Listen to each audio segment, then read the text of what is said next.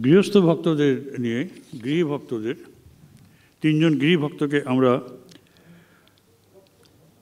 নির্বাচন করেছি। একজন শ্রী নবগোপাল ঘোষ মহাশয়, আরেকজন সুরেন মিত্র মহাশয়, আরেকজন শ্রী নবাই চৈতন্য মহা, মহাশয়। তা এই আলোচনা সভা একটা এন্ডাওমেন্ট ফান্ডের মধ্যে স্কিমের মধ্যে আমরা শুরু করব। সেটি যে এন্ডাওমেন্ট ফান্ডটি হচ্ছে স্বামী তেজসানন্দ এবং স্বামী শ্রদ্ধানন্দ। তা তাদের সম্বন্ধে দু চারটি কথা। মানে একদিক দিয়ে দেখতে গেলে পরে তিনজন গৃহী ভক্তদের সঙ্গে পরবর্তীকালে তিনজন বিশিষ্ট সন্ন্যাসী, তাদের নামে এই আলোচনা চক্রটি গৃহীত হয়েছে। সেই জন্য আমরা একসাথে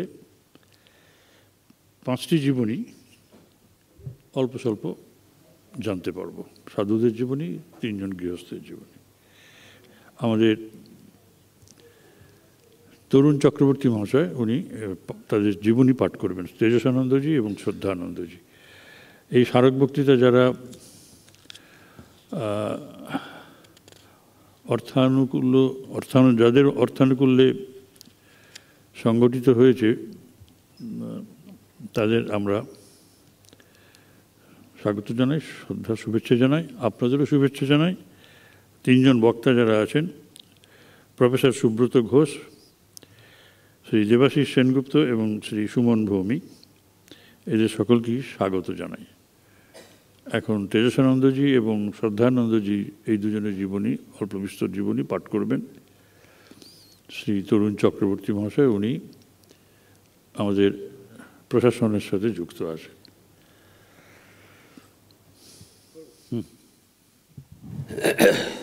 স্বামী তেজসানন্দ, স্বামী শ্রদ্ধানন্দ স্মারক আলোচনা চক্র। এই দুজন পুণ্য শ্লোক রামকৃষ্ণ সংঘের মহারাজের জীবনের কিছু অংশ আমি পাঠ করছি। প্রথমে স্বামী তেজসানন্দ। রামকৃষ্ণ মিশনের যে ত্যাগ ও সেবাকে অবলম্বন করে সন্ন্যাস জীবন আবর্তিত হতো, তার একটি জ্বলন্ত দৃষ্টান্ত স্বামী তেজসানন্দজি মহারাজ। তিনি ছিলেন শ্রীরামকৃষ্ণ সংঘের একজন আচার্য সন্ন্যাসী। শ্রীরামকৃষ্ণ সংঘের অন্যান্য সেবা প্রকল্পে দক্ষতার সঙ্গে সেবা করলেও রামকৃষ্ণ মিশন বিদ্যা মন্দিরের প্রতিষ্ঠাতা অধ্যক্ষ হিসাবে সংঘ সেবাই ছিল তাঁর মুখ্য সাধনা। আঠারোশো ছিয়ানব্বই খ্রিস্টাব্দে পূর্ববঙ্গের ঢাকা জেলার মানিকগঞ্জ সাব ডিভিশনের হাপানিয়া গ্রামে এক ধর্মপরায়ণ মধ্যবিত্ত পরিবারে তাঁর জন্ম হয়। তাঁর পূর্বাশ্রমের নাম ছিল খগেন্দ্রনাথ। পিতা রজনীকান্ত ছিলেন সৎ এবং ধর্মপরায়ণ। লেখাপড়ায় খগেন্দ্রনাথ ছিলেন খুবই মেধাবী। ম্যাট্রিকুলেশন থেকে এম পর্যন্ত সব পরীক্ষাতেই তিনি প্রথম শ্রেণির উপরের দিকে স্থান অধিকার করেন। ছাত্রজীবনেই তাঁর সন্ন্যাস গ্রহণের দৃঢ় সংকল্প থাকায় এম এ পাশের পরেই সঙ্গে যোগদান করেন। কিন্তু মা বাবার প্রতি কর্তব্যবোধে তিনি বাড়ি ফিরে এসে কয়েকটি স্কুলে শিক্ষকতা করার পর উনিশশো সাতাশ খ্রিস্টাব্দে পুনরায় স্থায়ীভাবে সঙ্গে যোগদান করেন। এবং কাশী অদ্বৈত আশ্রমে জপ, ধ্যান ও শাস্ত্রাদি পাঠে নিমগ্ন হন। খগেন্দ্রনাথের তীব্র বৈরাগ্য এবং উচ্চ আধ্যাত্মিক ভাব লক্ষ্য করে মহাপুরুষ মহারাজ স্বামী শিবানন্দজি তদানীন্তন সংঘের প্রচলিত নিয়মকে উপেক্ষা করে সময়ের পূর্বেই উনিশশো সাতাশ খ্রিস্টাব্দে পনেরোই ডিসেম্বর তাকে ব্রহ্মচর্য ব্রতে দীক্ষা দেন। খগেন্দ্রনাথের নতুন নাম হয় ব্রহ্মচারী জ্ঞান চৈতন্য। জ্ঞান চৈতন্য মহারাজ মাদ্রাজ মঠ থেকে প্রকাশিত সংঘের পত্রিকা, বেদান্ত কেশরী সম্পাদকের কাজ ক্রমান্বয়ে তিন বছর দক্ষতার সঙ্গে সম্পাদন করেন। উনিশশো একত্রিশ খ্রিস্টাব্দে তিনি স্বামী শিবানন্দজি মহারাজের নিকট সন্ন্যাস লাভ করেন। সন্ন্যাসের পর তিনি উনিশশো একত্রিশ থেকে উনিশশো পঁয়ত্রিশ খ্রিস্টাব্দ পর্যন্ত নানা তীর্থে বহু তপস্যা করেন। সংঘের আহ্বানে তিনি উনিশশো ছত্রিশ খ্রিস্টাব্দে মঠে এসে শ্রী শ্রী ঠাকুরের শতবার্ষিক উৎসব উপলক্ষে প্রকাশিত স্মারক গ্রন্থের সম্পাদনার কাজে সাহায্য করেন। উনিশশো আটত্রিশ উনচল্লিশ এই দুই বছর কাল তিনি প্রবুদ্ধ ভারতের সম্পাদক হিসাবেও কাজ করেন। স্বামীজির ইচ্ছা এবং পরিকল্পনা অনুসারে উনিশশো চল্লিশ খ্রিস্টাব্দে বেলুড় মঠ সংলগ্ন ভূমিখণ্ডে রামকৃষ্ণ মিশন বিদ্যা মন্দির প্রতিষ্ঠিত হয়। রামকৃষ্ণ সংঘের কর্তৃপক্ষ পণ্ডিত, ত্যাগী ও হৃদয়বান স্বামী তেজসানন্দজিকেই এই মহাবিদ্যালয়ের যোগ্য আচার্য নির্বাচন করেন। উনিশশো একচল্লিশ থেকে উনিশশো সাতচল্লিশ পর্যন্ত বিদ্যা মন্দিরের অধ্যক্ষ পদে থেকে তিনি এই প্রতিষ্ঠানের পরিচালনার এবং গুরুকুলের গুরু শিষ্যের সম্পর্ক পরম্পরায় জীবন গঠনের একটি স্থায়ী আদর্শ এবং ছাঁচ গড়ে তোলেন। সংঘের নির্দেশে উনিশশো আটচল্লিশ থেকে উনিশশো একান্ন খ্রিস্টাব্দের সেপ্টেম্বর পর্যন্ত তিনি পাটনা আশ্রমের অধ্যক্ষ হিসাবে সেবা করে আশ্রমের স্থায়ী অগ্রগতি সুষ্ঠু ব্যবস্থা করে দিয়ে পুনরায় বিদ্যা মন্দিরের অধ্যক্ষ পদে যোগদান করেন। বিদ্যা মন্দিরই ছিল তার সাধনপীঠ তিনি বিদ্যা মন্দিরের সঙ্গে নিজেকে একীভূত করে নিয়েছিলেন। তার নিয়ম, নিষ্ঠা এবং বৈরাগ্য তেজ সকলকে সহজেই প্রভাবিত করত। তার শিক্ষা ছিল আপনি আচরি ধর্ম। স্বামীজি ও শ্রীরামকৃষ্ণ সংঘ এই গুরুকুল শিক্ষা সত্রটিকে যেরূপ রূপায়িত করতে চেয়েছিলেন, স্বামী তেজসানন্দ ছিলেন, ঠিক সেই সব গুণভূষিত এক অনন্য রূপকার। রোগশয্যায় থেকেও স্বামী তেজসানন্দজি মহারাজ বিদ্যা মন্দিরের সেবা ও ছাত্রদের কল্যাণের কথাই চিন্তা করতেন। দুরারোগ্য ক্যান্সার রোগে আক্রান্ত হয়েও রোগের কষ্টকে তিনি গ্রাহ্য করেননি। মৃত্যুর কয়েকদিন পূর্ব থেকেই তিনি পঞ্জিকা দেখে তার ইচ্ছা মৃত্যুর দিনক্ষণ ধার্য করেন। সেই অনুসারে এই মহাযোগী উনিশশো একাত্তর খ্রিস্টাব্দের এগারোই মে রাত্রি সাতটা পঁয়ত্রিশ মিনিটে মহাসমাধি যোগে শরীর ত্যাগ করেন। স্বামী তেজসানন্দজি ছিলেন এক উজ্জ্বল জীবন প্রদীপ যাঁর শিখার স্পর্শে বহু জীবন উদ্দীপ্ত হয়ে উঠেছে। স্বামী তেজসানন্দজির বিশেষ স্নেহভাজন শ্রী ব্রজলাল বন্দ্যোপাধ্যায়, শ্রী সমীর মজুমদার ও আরও কিছু ছাত্রের অর্থানুকূল্যে স্বামী তেজসানন্দ স্মারক আলোচনা চক্র আয়োজিত হলো। এবারে স্বামী শ্রদ্ধানন্দ মহারাজ সম্পর্কে বলছি। স্বামী শ্রদ্ধানন্দ অধুনা বাংলাদেশের অন্তর্গত খুলনা জেলার এক ধার্মিক পরিবারে জন্মগ্রহণ করেন। শৈশবকাল থেকেই তিনি ধর্মপ্রবণ এবং অধ্যয়নশীল ছিলেন। উনিশশো পঁচিশ খ্রিস্টাব্দ থেকে উনিশশো সাঁত্রিশ খ্রিস্টাব্দ পর্যন্ত তিনি রামকৃষ্ণ মিশনের ক্যালকাটা স্টুডেন্ট সময়ে যুক্ত ছিলেন। এখানে তিনি স্বামী নির্বেদানন্দের সংস্পর্শে আসেন এবং স্বামী শিবানন্দের নিকট দীক্ষিত হন। তেইশ বছর বয়সে তিনি রামকৃষ্ণ মঠে ব্রহ্মচারী রূপে যোগদান করেন এবং উনিশশো উনচল্লিশ খ্রিস্টাব্দে স্বামী বিরজানন্দ মহারাজের নিকট সন্ন্যাস গ্রহণ করেন। এরপর তিনি পরবর্তী বারো বছর স্বামী বিরজানন্দ মহারাজের একান্ত সচিব রূপে কাজ করেন এবং তার সঙ্গে অনেক দিন শ্যামলাতাল আশ্রমে থাকেন। স্বামী বিরজানন্দের দেহাবসানের পর তিনি উনিশশো বাহান্ন খ্রিস্টাব্দ থেকে উনিশশো সাতান্ন খ্রিস্টাব্দ পর্যন্ত উদ্বোধন পত্রিকার সম্পাদক ছিলেন। উনিশশো সাতান্ন খ্রিস্টাব্দে তিনি রামকৃষ্ণ মিশনের সান ফ্রান্সিসকো কেন্দ্রের স্বামী অশোকানন্দ মহারাজের সহযোগী রূপে কাজ করেন। উনিশশো সত্তর সালে স্বামী শ্রদ্ধানন্দ বেদান্ত সোসাইটি অফ স্যাক্রামেন্টের অধ্যক্ষ হন। এই অধ্যক্ষের পদে থাকাকালীন উনিশশো ছিয়ানব্বই খ্রিস্টাব্দে তিনি শ্রীরামকৃষ্ণ লোকে যাত্রা করেন। স্বামী শ্রদ্ধানন্দ ইংরেজি ও বাংলায় অনেক পুস্তক রচনা করেন, তার অন্যতম শ্রেষ্ঠ পুস্তক অতীতের স্মৃতি। শ্রীমতী শান্তনা দাশগুপ্ত ও শ্রীমতী বিজয়া দাশগুপ্তের অর্থানুকূল্যে স্বামী শ্রদ্ধানন্দর স্মারক আলোচনা চক্র আয়োজিত হয়েছে। আর স্বামী তেজসানন্দ স্বামী শ্রদ্ধানন্দ স্মারক আলোচনা চক্রে বলবেন, অধ্যাপক সুব্রত ঘোষ, বিষয় শ্রী নবগোপাল ঘোষ, শ্রী দেবাশিস সেনগুপ্ত প্রকাশনা বিভাগ রামকৃষ্ণ মিশন গোলপার্ক বিষয় শ্রী সুরেন মিত্র, শ্রী সুমন ভৌমিক, কর্ণধার প্রকাশনা প্রতিষ্ঠান সূত্রধর। বিষয় শ্রী নবাই চৈতন্য, সভাপতিত্ব করবেন আমাদের পূজ্যপাদ মহারাজ স্বামী সুপর্ণানন্দ। বিষয় শ্রীরামকৃষ্ণের গৃহী শিষ্যদের জীবন ও বাণী। ধন্যবাদ তরুণদা। আমি প্রথমেই অধ্যাপক সুব্রত ঘোষ মহাশয়কে অনুরোধ করব। তিনি তার ঠাকুরদা তো? ঠাকুরদার বাবা আচ্ছা তার প্রপৌত্র। সেই বংশের ছেলে, ওই বংশে, আপনারা নবগোপাল ঘোষ মশার বাড়ি গেছেন, অনেকেই গেছেন রামকৃষ্ণপুরে, আমরাও গেছি।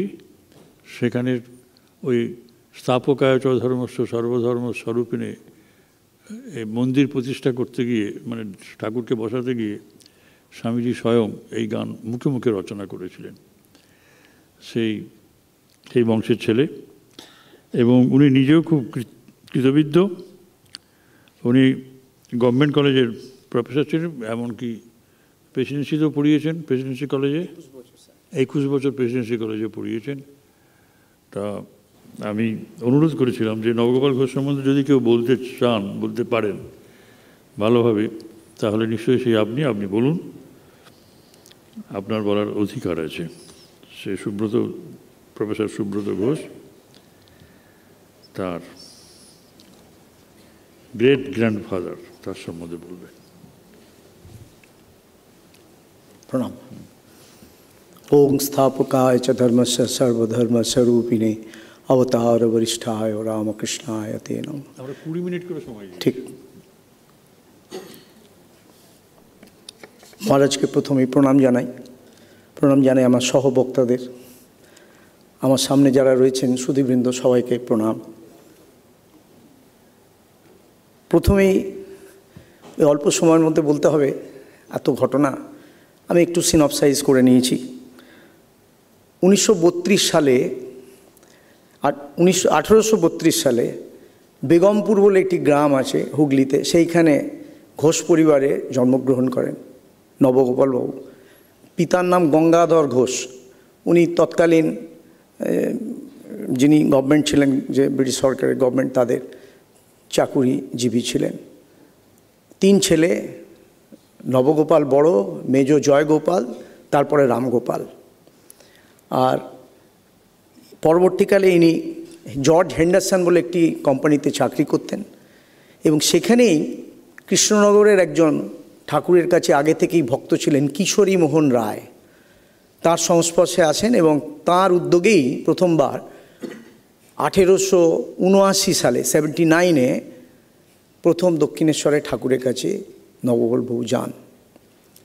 যেতে নবগোপালবাবুকে ঠাকুর খুব স্নেহ করেছিলেন, কেন জানি না, এবং বলেছিলেন অযাচিতভাবে, বাড়িতে রোজ ঈশ্বরের নাম কীর্তন করবে, খোল বাজিয়ে। এরপর যখন সময় হবে একবার এসো। তারপর প্রসাদ দিয়ে বাড়ি পাঠিয়ে দিয়েছিলেন। এরপর যথারীতি তিন বছর উনি আর যেতে পারেননি, কোনো কারণে। অনেকগুলো ঘটনা ঘটেছে। বিষয়ী লোক ছিলেন, সংসারী, ঘোর সংসারী বলতে যা বোঝায়। প্রথম পক্ষ মারা গেল, কোন, স্ত্রী, তার একটি কন্যা হয়েছিল, নাম হচ্ছে পঙ্কজ কুমারী। সেই পঙ্কজ কুমারী পরবর্তী তখনকার রীতি অনুযায়ী তাকে শ্রীরামপুরের মামার বাড়িতে দিয়ে আসা হয় এবং তার বিবাহ হয় সাম্বাইয়ারে ব্রজেন্দ্রনাথ বাবু বসুর সঙ্গে। তাদের একটি কন্যা হয়। কন্যার নাম হচ্ছে রেণুকাবালা বসু। তিনি আর কেউ নন। প্রব্রাজিকা মুখ্যপ্রাণা মাতাজি, দ্বিতীয় প্রেসিডেন্ট মহারাজ সারদা মঠের। তিনি নবগোলবাবুর দৈহিত্রী। অনেকেই জানতেন না। এরপর দ্বিতীয় বিবাহ, সেটাও এক দেড় বছরের মধ্যে মারা যান। তৃতীয় যিনি এলেন, নিস্তারিণী দেবী, নিস্তারিণী ঘোষ, পরবর্তীকালে ইনি ছিলেন হাটখোলা দত্তবাড়ির মেয়ে। এবং বাবার নাম ছিল শশাঙ্ক দত্ত। অল্প বয়সে বিবাহ হয়। এখন নবগোলবাবু বলতে গেলে নিস্তারিণী দেবীকে আনতেই হবে, তা নাহলে শেষ করা যাবে না। এবারে দ্বিতীয়বার যখন উনি যান, তখন কিশোরীবাবু এসে বলেন, ঠাকুর বলছিলেন যে তুমি যে একজন ঘোষের পোকে এনেছিলে তিন বছর আগে, সে তো আর এমুখো হলো না। তাকে একবার বলো আসতে। ঠাকুর, ঠাকুরের কথা শুনে কিশোরীবাবু যখন গিয়ে বললেন নবলবাবুর চোখ দিয়ে জল পড়ে গেল। বললেন, আমি এই অধম, আমাকে মনে রেখেছেন? কবে গেছিলাম একবার? কাঁদতে কাঁদতে উনি সমস্ত পরিবার নিয়ে তার সন্তান সন্ততিদের নিয়ে ঠাকুরের কাছে গেলেন, আঠেরোশো বিরাশি সালে। ঠাকুর তাদের বসিয়ে খুব আদর যত্ন করলেন এবং এমন একটা নেশা তৈরি করিয়ে দিলেন। প্রতি রবিবার সপ্তাহে নবলবাবু এবং স্ত্রী দক্ষিণেশ্বরে যাওয়াটা বাঁধা হয়ে গেল। ওরা তখন থাকতেন পাঁচে রে বৃন্দাবন মোড় লিখলেন বাদুর বাগান, বিদ্যাসাগর মশাইয়ের বাড়ি থেকে আটটা দশটা বাড়ি আগে পড়ে এবং রেগুলার ওইখানে যাওয়া শুরু হলো।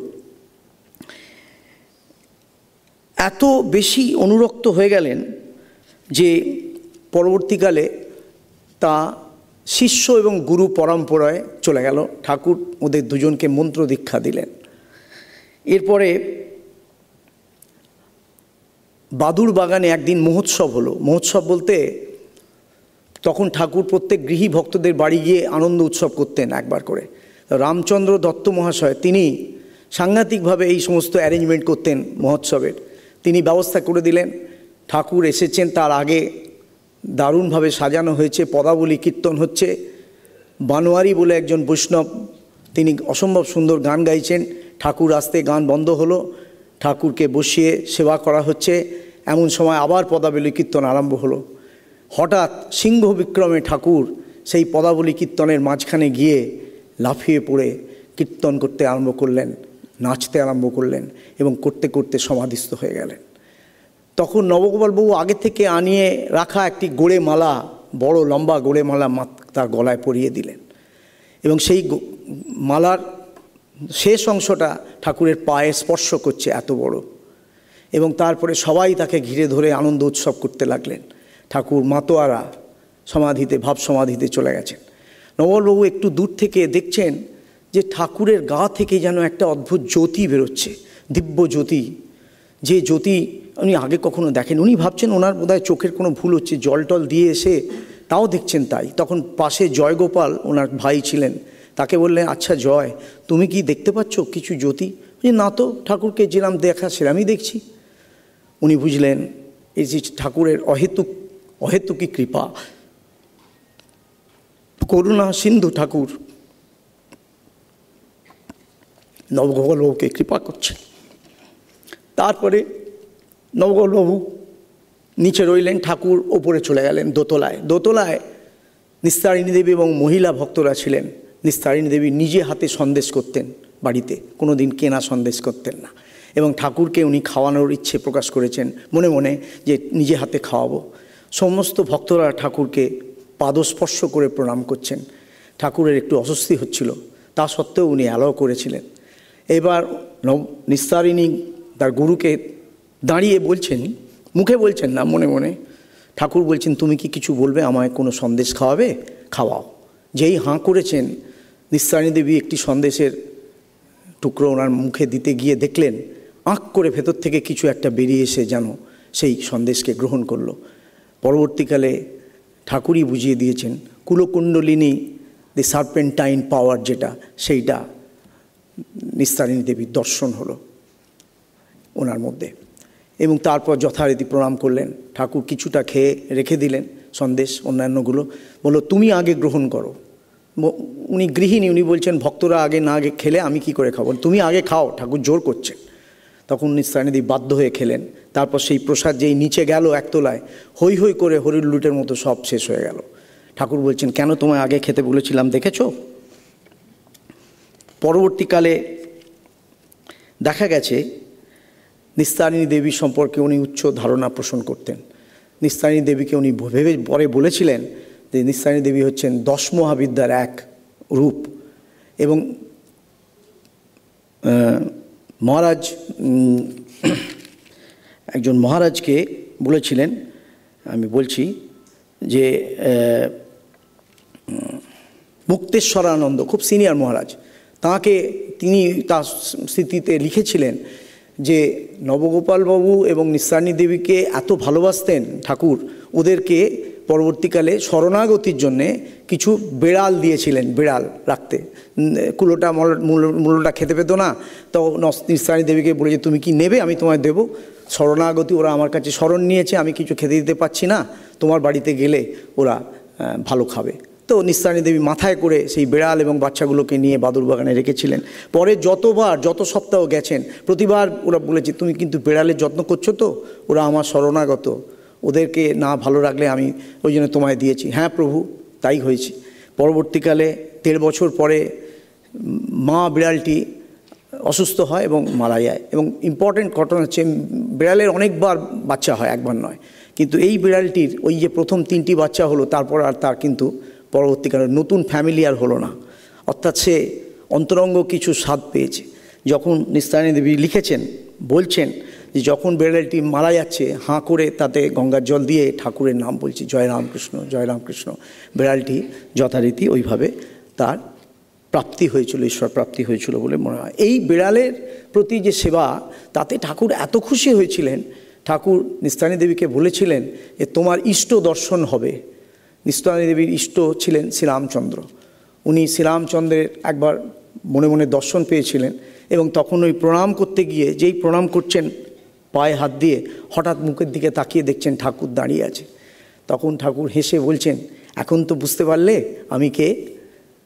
এইভাবে অহেতুকে কৃপা এই দম্পতির ওপর করেছিলেন এবং মুক্তেশ্বরানন্দজিকে বলেছিলেন, কোনোভাবে সিনিয়র ধীরেশানন্দজি, যা পরবর্তীকালে শ্রীমৎ স্বামী চেতনানন্দজি লিখেছেন অনেক জায়গায়, বলে ও হচ্ছে ছিন্নমস্তার অংশে জন্ম।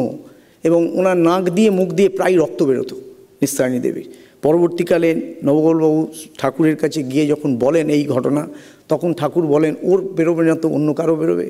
ওর তো বেরোবেই নাক মুখ দিয়ে রক্ত। ও কার অংশে জন্ম দেখো? বলে ঠাকুর তার ইউজ করা একটা গামছা ওনার হাতে দিয়েছিলেন। দিয়ে বলেছিলেন, যখনই এরপরে হবে এই ধরনের বাড়িতে গঙ্গা জল ভিজিয়ে মাথায় দিয়ে আমার নাম করবে, আর তোমার রক্ত পড়া বন্ধ হয়ে যাবে। সেইভাবেই উনি সারা জীবনটি করেছিলেন।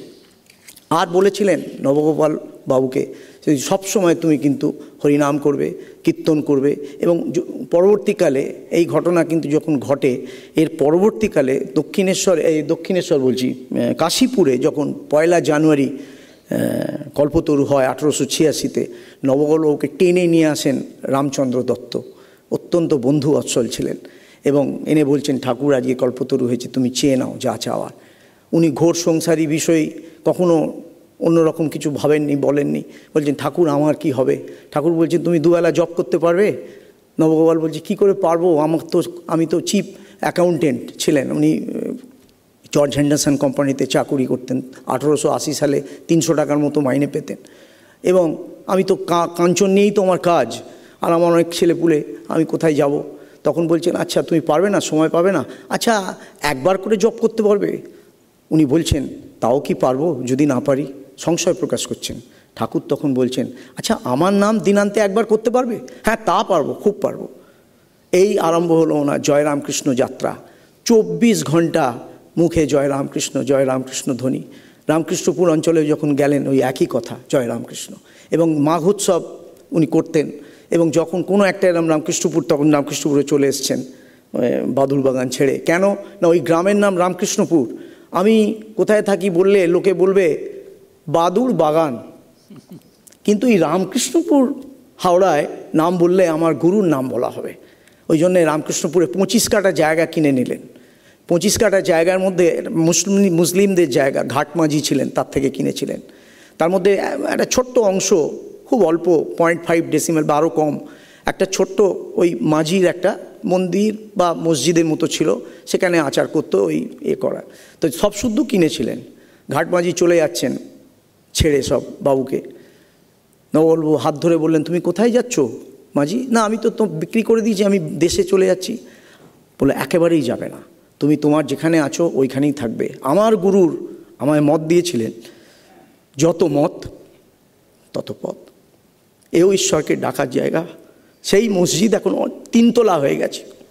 এবং তারা রামকৃষ্ণপুরে যখন মাঘী পূর্ণিমার উৎসব হয়, ফুল নিয়ে তারা দিয়ে আসে। হয়তো পুজো করতে পারে না তাদের রীতি অনুযায়ী, কিন্তু ফুল নিয়ে ঠাকুরমা স্বামীজির পায়ে তারা অর্পণ করে আসে এখনও এত বছর ধরে, একশো পঁচিশ বছর হলো। পরবর্তীকালে রামকৃষ্ণপুরে উনি যখন চলে গেলেন, তখন নরেনকে বলেছিলেন, ভাই গুরু ভাইকে আমার খুব ইচ্ছে, তুমি ঠাকুরকে আমাদের এই রামকৃষ্ণপুরে আমার যে ঠাকুর ঘর করেছি, সেখানে তুমি প্রতিষ্ঠা করো। তখন বেলুর মঠ পুরোপুরিভাবে হয়নি, নীলাম্বর বাগান বাড়ি তখন আলমবাজার মঠ থেকে তিনটে ডিঙি নৌকো করে স্বামীজিরা এসছিলেন। প্রায় সমস্ত ওনার যারা গুরুভাই ছিলেন এবং গৃহীভক্ত গিরিশবাবু ইত্যাদি, রামবাবু সবাই এসছিলেন। এবং পরবর্তীকালে ওইখানে এসে উনি পকেটে আত্মারামের কৌটোটি ছিল, অর্থাৎ কিনা ঠাকুরের যেটি আত্মারামের কৌটো, আমরা বলি শেষ আবস অংশ স্বামীজি সোনার কৌটোয় করে নিয়ে গেছিলেন। কারণ প্রথমবার ঠাকুরকে উনি প্রতিষ্ঠা করবেন জনগণের ঈশ্বর বলে। ওই পাঁচজন দশজনের নয়। এবং ওইখানে প্রকাশানন্দজি পাশে বসেছেন এবং যখন পুজো করছেন ঠাকুরকে, তখন বলছেন, স্বামীজি, কি বলে ঠাকুরকে প্রণাম করব? স্বামীজি ধ্যানে বসে মুখ থেকে বেরোলো, স্থাপকায় চ ধর্ম সর্বধর্ম স্বরূপিনে অবতার বৃষ্ঠায় রামকৃষ্ণায় তেন। লিখে নেওয়া হলো, এটি লিখে নেওয়া হলো, কারণ হারিয়ে যাবে, নইলে এই প্রণাম মন্ত্র আগে কখনো উচ্চারিত হয়নি। আবার প্রকাশানন্দজি পূজারী প্রশ্ন করলেন স্বামীজি তন্ত্রধারককে, কি বলে সংকল্প হবে? কার নামে সংকল্প হবে? সংকল্প সবসময় গৃহী বা গৃহিণী অথবা গৃহকর্তার নামে হয়? স্বামীজি ধ্যানে বসলেন, আবার বললেন যে সমস্ত সংকল্প পুজোর হবে মা শারদার নামে। শ্রী শ্রী মা সারদার নামে। আজকে রামকৃষ্ণ মঠ মিশনের দুশো পঁচিশটি কেন্দ্র আরও বেশি, শাখা কেন্দ্র, সব জায়গায় যা পুজো হয়, সমস্ত মা সারদার নামে সংকল্প হয়। তার সূচনাটা রামকৃষ্ণপুরে ওই বাড়িতে, ওই ঘরে স্বামীজি করে দিয়ে গেলেন নববল্লভর জায়গায়।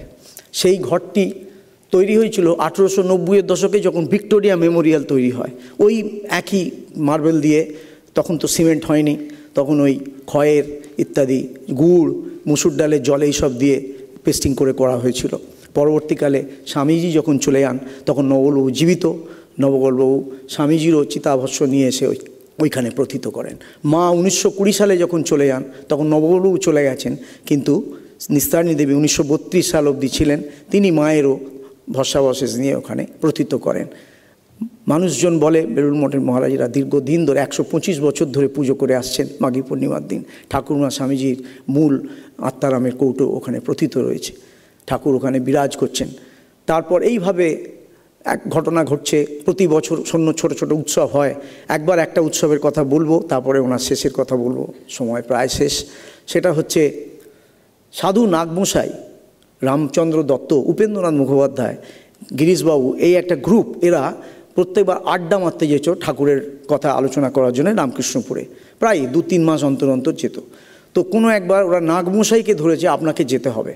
বিডিং স্ট্রিট থেকে ওরা গাড়ি ভাড়া করেছে, ওই টমটম ইত্যাদি করে। তো নাগমশাই কিছুতেই ওই গাড়িতে উঠবেন না। উনি বলছেন, আমি হেঁটে চলে যাব। কেন? না, ঘোড়াকে চাবুক মারলে ওনার খুব কষ্ট, আমি থাকতে পারে না। তো বহু কষ্টে কোচোয়ানের থেকে ওই চাবুকটি নিয়ে রেখে দিয়ে ওনাকে তোলা হলো যে ওই তুমি আস্তে আস্তে চলো। তো নাগমশাই গেছেন রামকৃষ্ণপুরে ঠাকুরের কথা ভাবতে, আলোচনা শুনতে। যেই উনি নেমেছেন নবলবাবু দূর থেকে দেখতে পেয়ে জয়রাম জয়রাম বলে চেঁচাতে চেঁচাতে চলে আসছেন হাত তুলে, দু হাত তুলে। নাগ, নাগমহাশয় গাড়ি থেকে নেমে বাড়ির ভেতর ঢুকে সাষ্টাঙ্গে নবগোপাল বাবুকে প্রণাম করলেন। এবং তারপরে যথারীতি যেখানে বৈঠকখানা স্বামীজি ওখানে পিয়ানো বাজিয়েছিলেন, সেই পিয়ানো আজও আছে। একটি ছোট্ট হারমোনিয়াম ছিল আঠেরোশো পঞ্চাশ সালে, সেইটিতে দুকলি গান গেয়েছিলেন। সেগুলো সব রয়েছে। তো তিনি সবাইকে হাওয়া করতে আরম্ভ করলেন নাগমশাই। কারোর কথায় নিরস্ত হলেন না।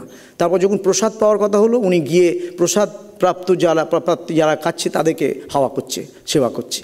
প্রসাদের কথা বলতে এক কোনা প্রসাদ নিলেন।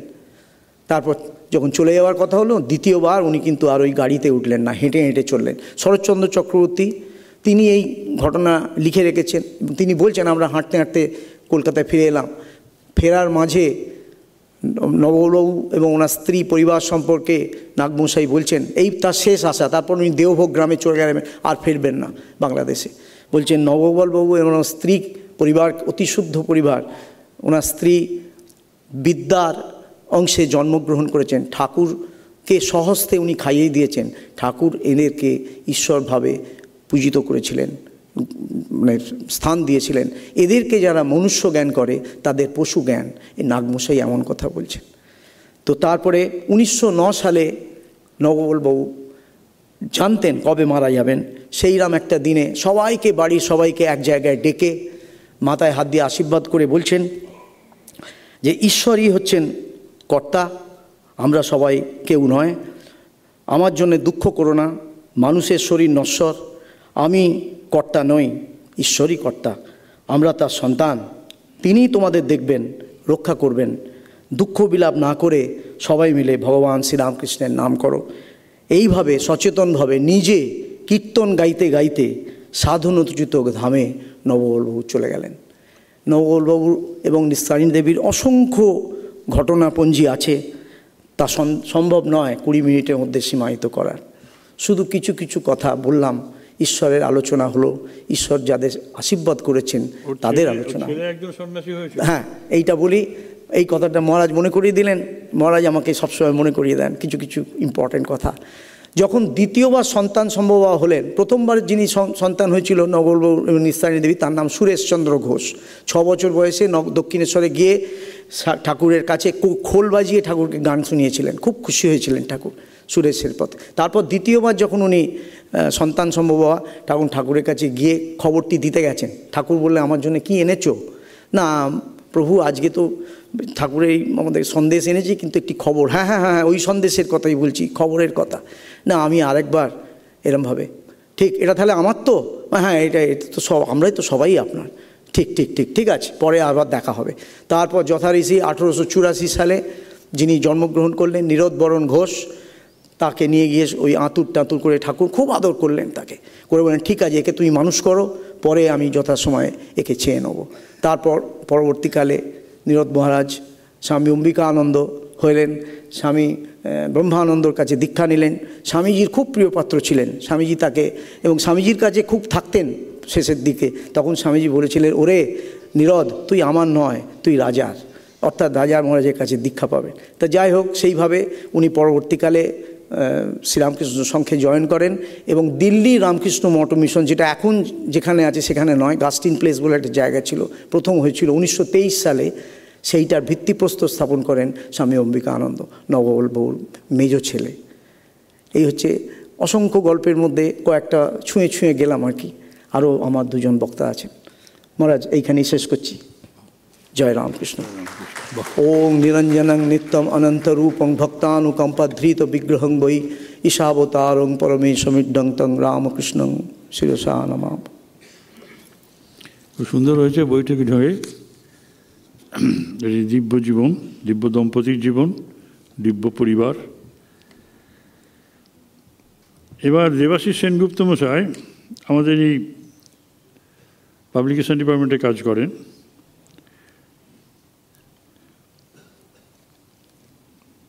তিনি বলবেন শ্রী সুরেশ, সুরেন মিত্র সম্বন্ধে।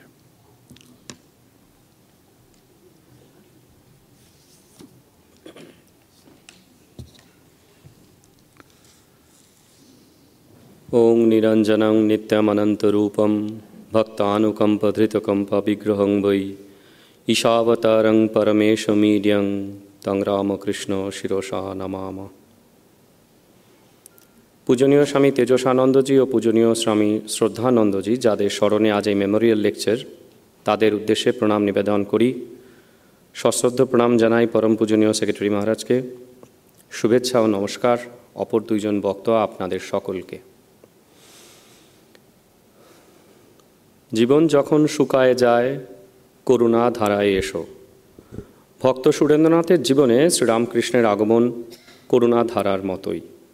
সরল, তেজস্বী ও স্পষ্ট বক্তা সুরেশ বা শ্রী সুরেন্দ্রনাথ মিত্র এক নামী ব্রিটিশ কোম্পানিতে উচ্চ বেতনে চাকরি করতেন। অন্যদিকে এক উচ্ছৃঙ্খল জীবনযাপন করতেন এবং তার সাথে খুব মদ্যপানও করতেন। এমন আপাত সুখের জীবন কাটালেও একসময় সুরেন্দ্রর মনে আসে ঘোর অবসাদ, সংসার বিরক্ত সুরেন্দ্রনাথ, আত্মহত্যা করবেন এমন মনস্থ করেন। সিমলা নিবাসী সুরেন্দ্রর বন্ধু ও প্রতিবেশী ছিলেন রামচন্দ্র দত্ত এবং মনমোহন মিত্র। তারা সুরেন্দ্রর এই মানসিক অশান্তির কথা জানতেন এবং একদিন প্রায় জোর করে দক্ষিণেশ্বরে শ্রীরামকৃষ্ণ সমীপে তাকে নিয়ে যান। তাদের মতো যদি সুরেন্দ্র ঠাকুরের পবিত্র শঙ্খ লাভ করে শান্তি পান। এদের সঙ্গে ঠাকুরের কাছে যাবার আগে সুরেন্দ্র তাদের গর্ব করে বলেছিলেন, যদি তোমাদের সাধু কোনো বাজে কথা বলেন, তাহলে আমি তার কান মলে দেব। পূজনীয় গম্ভীরানন্দজির মতে, আঠেরোশো আশি সালের প্রথম দিকে দক্ষিণেশ্বরে শ্রীরামকৃষ্ণের সাথে সুরেন্দ্রর প্রথম সাক্ষাৎ। সুরেন্দ্রর বয়স তখন আনুমানিক তিরিশ। সুরেন্দ্র শ্রীরামকৃষ্ণের ঘরে ঢুকে তাকে প্রণাম বা কোনো রকম সম্ভাষণ না জানিয়ে বসলেন। ভক্ত সঙ্গে শ্রীরামকৃষ্ণ সেদিন শরণাগতি প্রসঙ্গে বলছেন, লোকে বানর ছানা হতে চায় কেন? বিড়াল ছানা হলেই তো ভালো। বানর ছানা কর্তৃত্ব বোধে জো শো করে মাকে ধরে থাকে যখন মা তাকে অন্যত্র নিয়ে যায়। বিড়াল ছানা সব নির্ভর মা যা করে।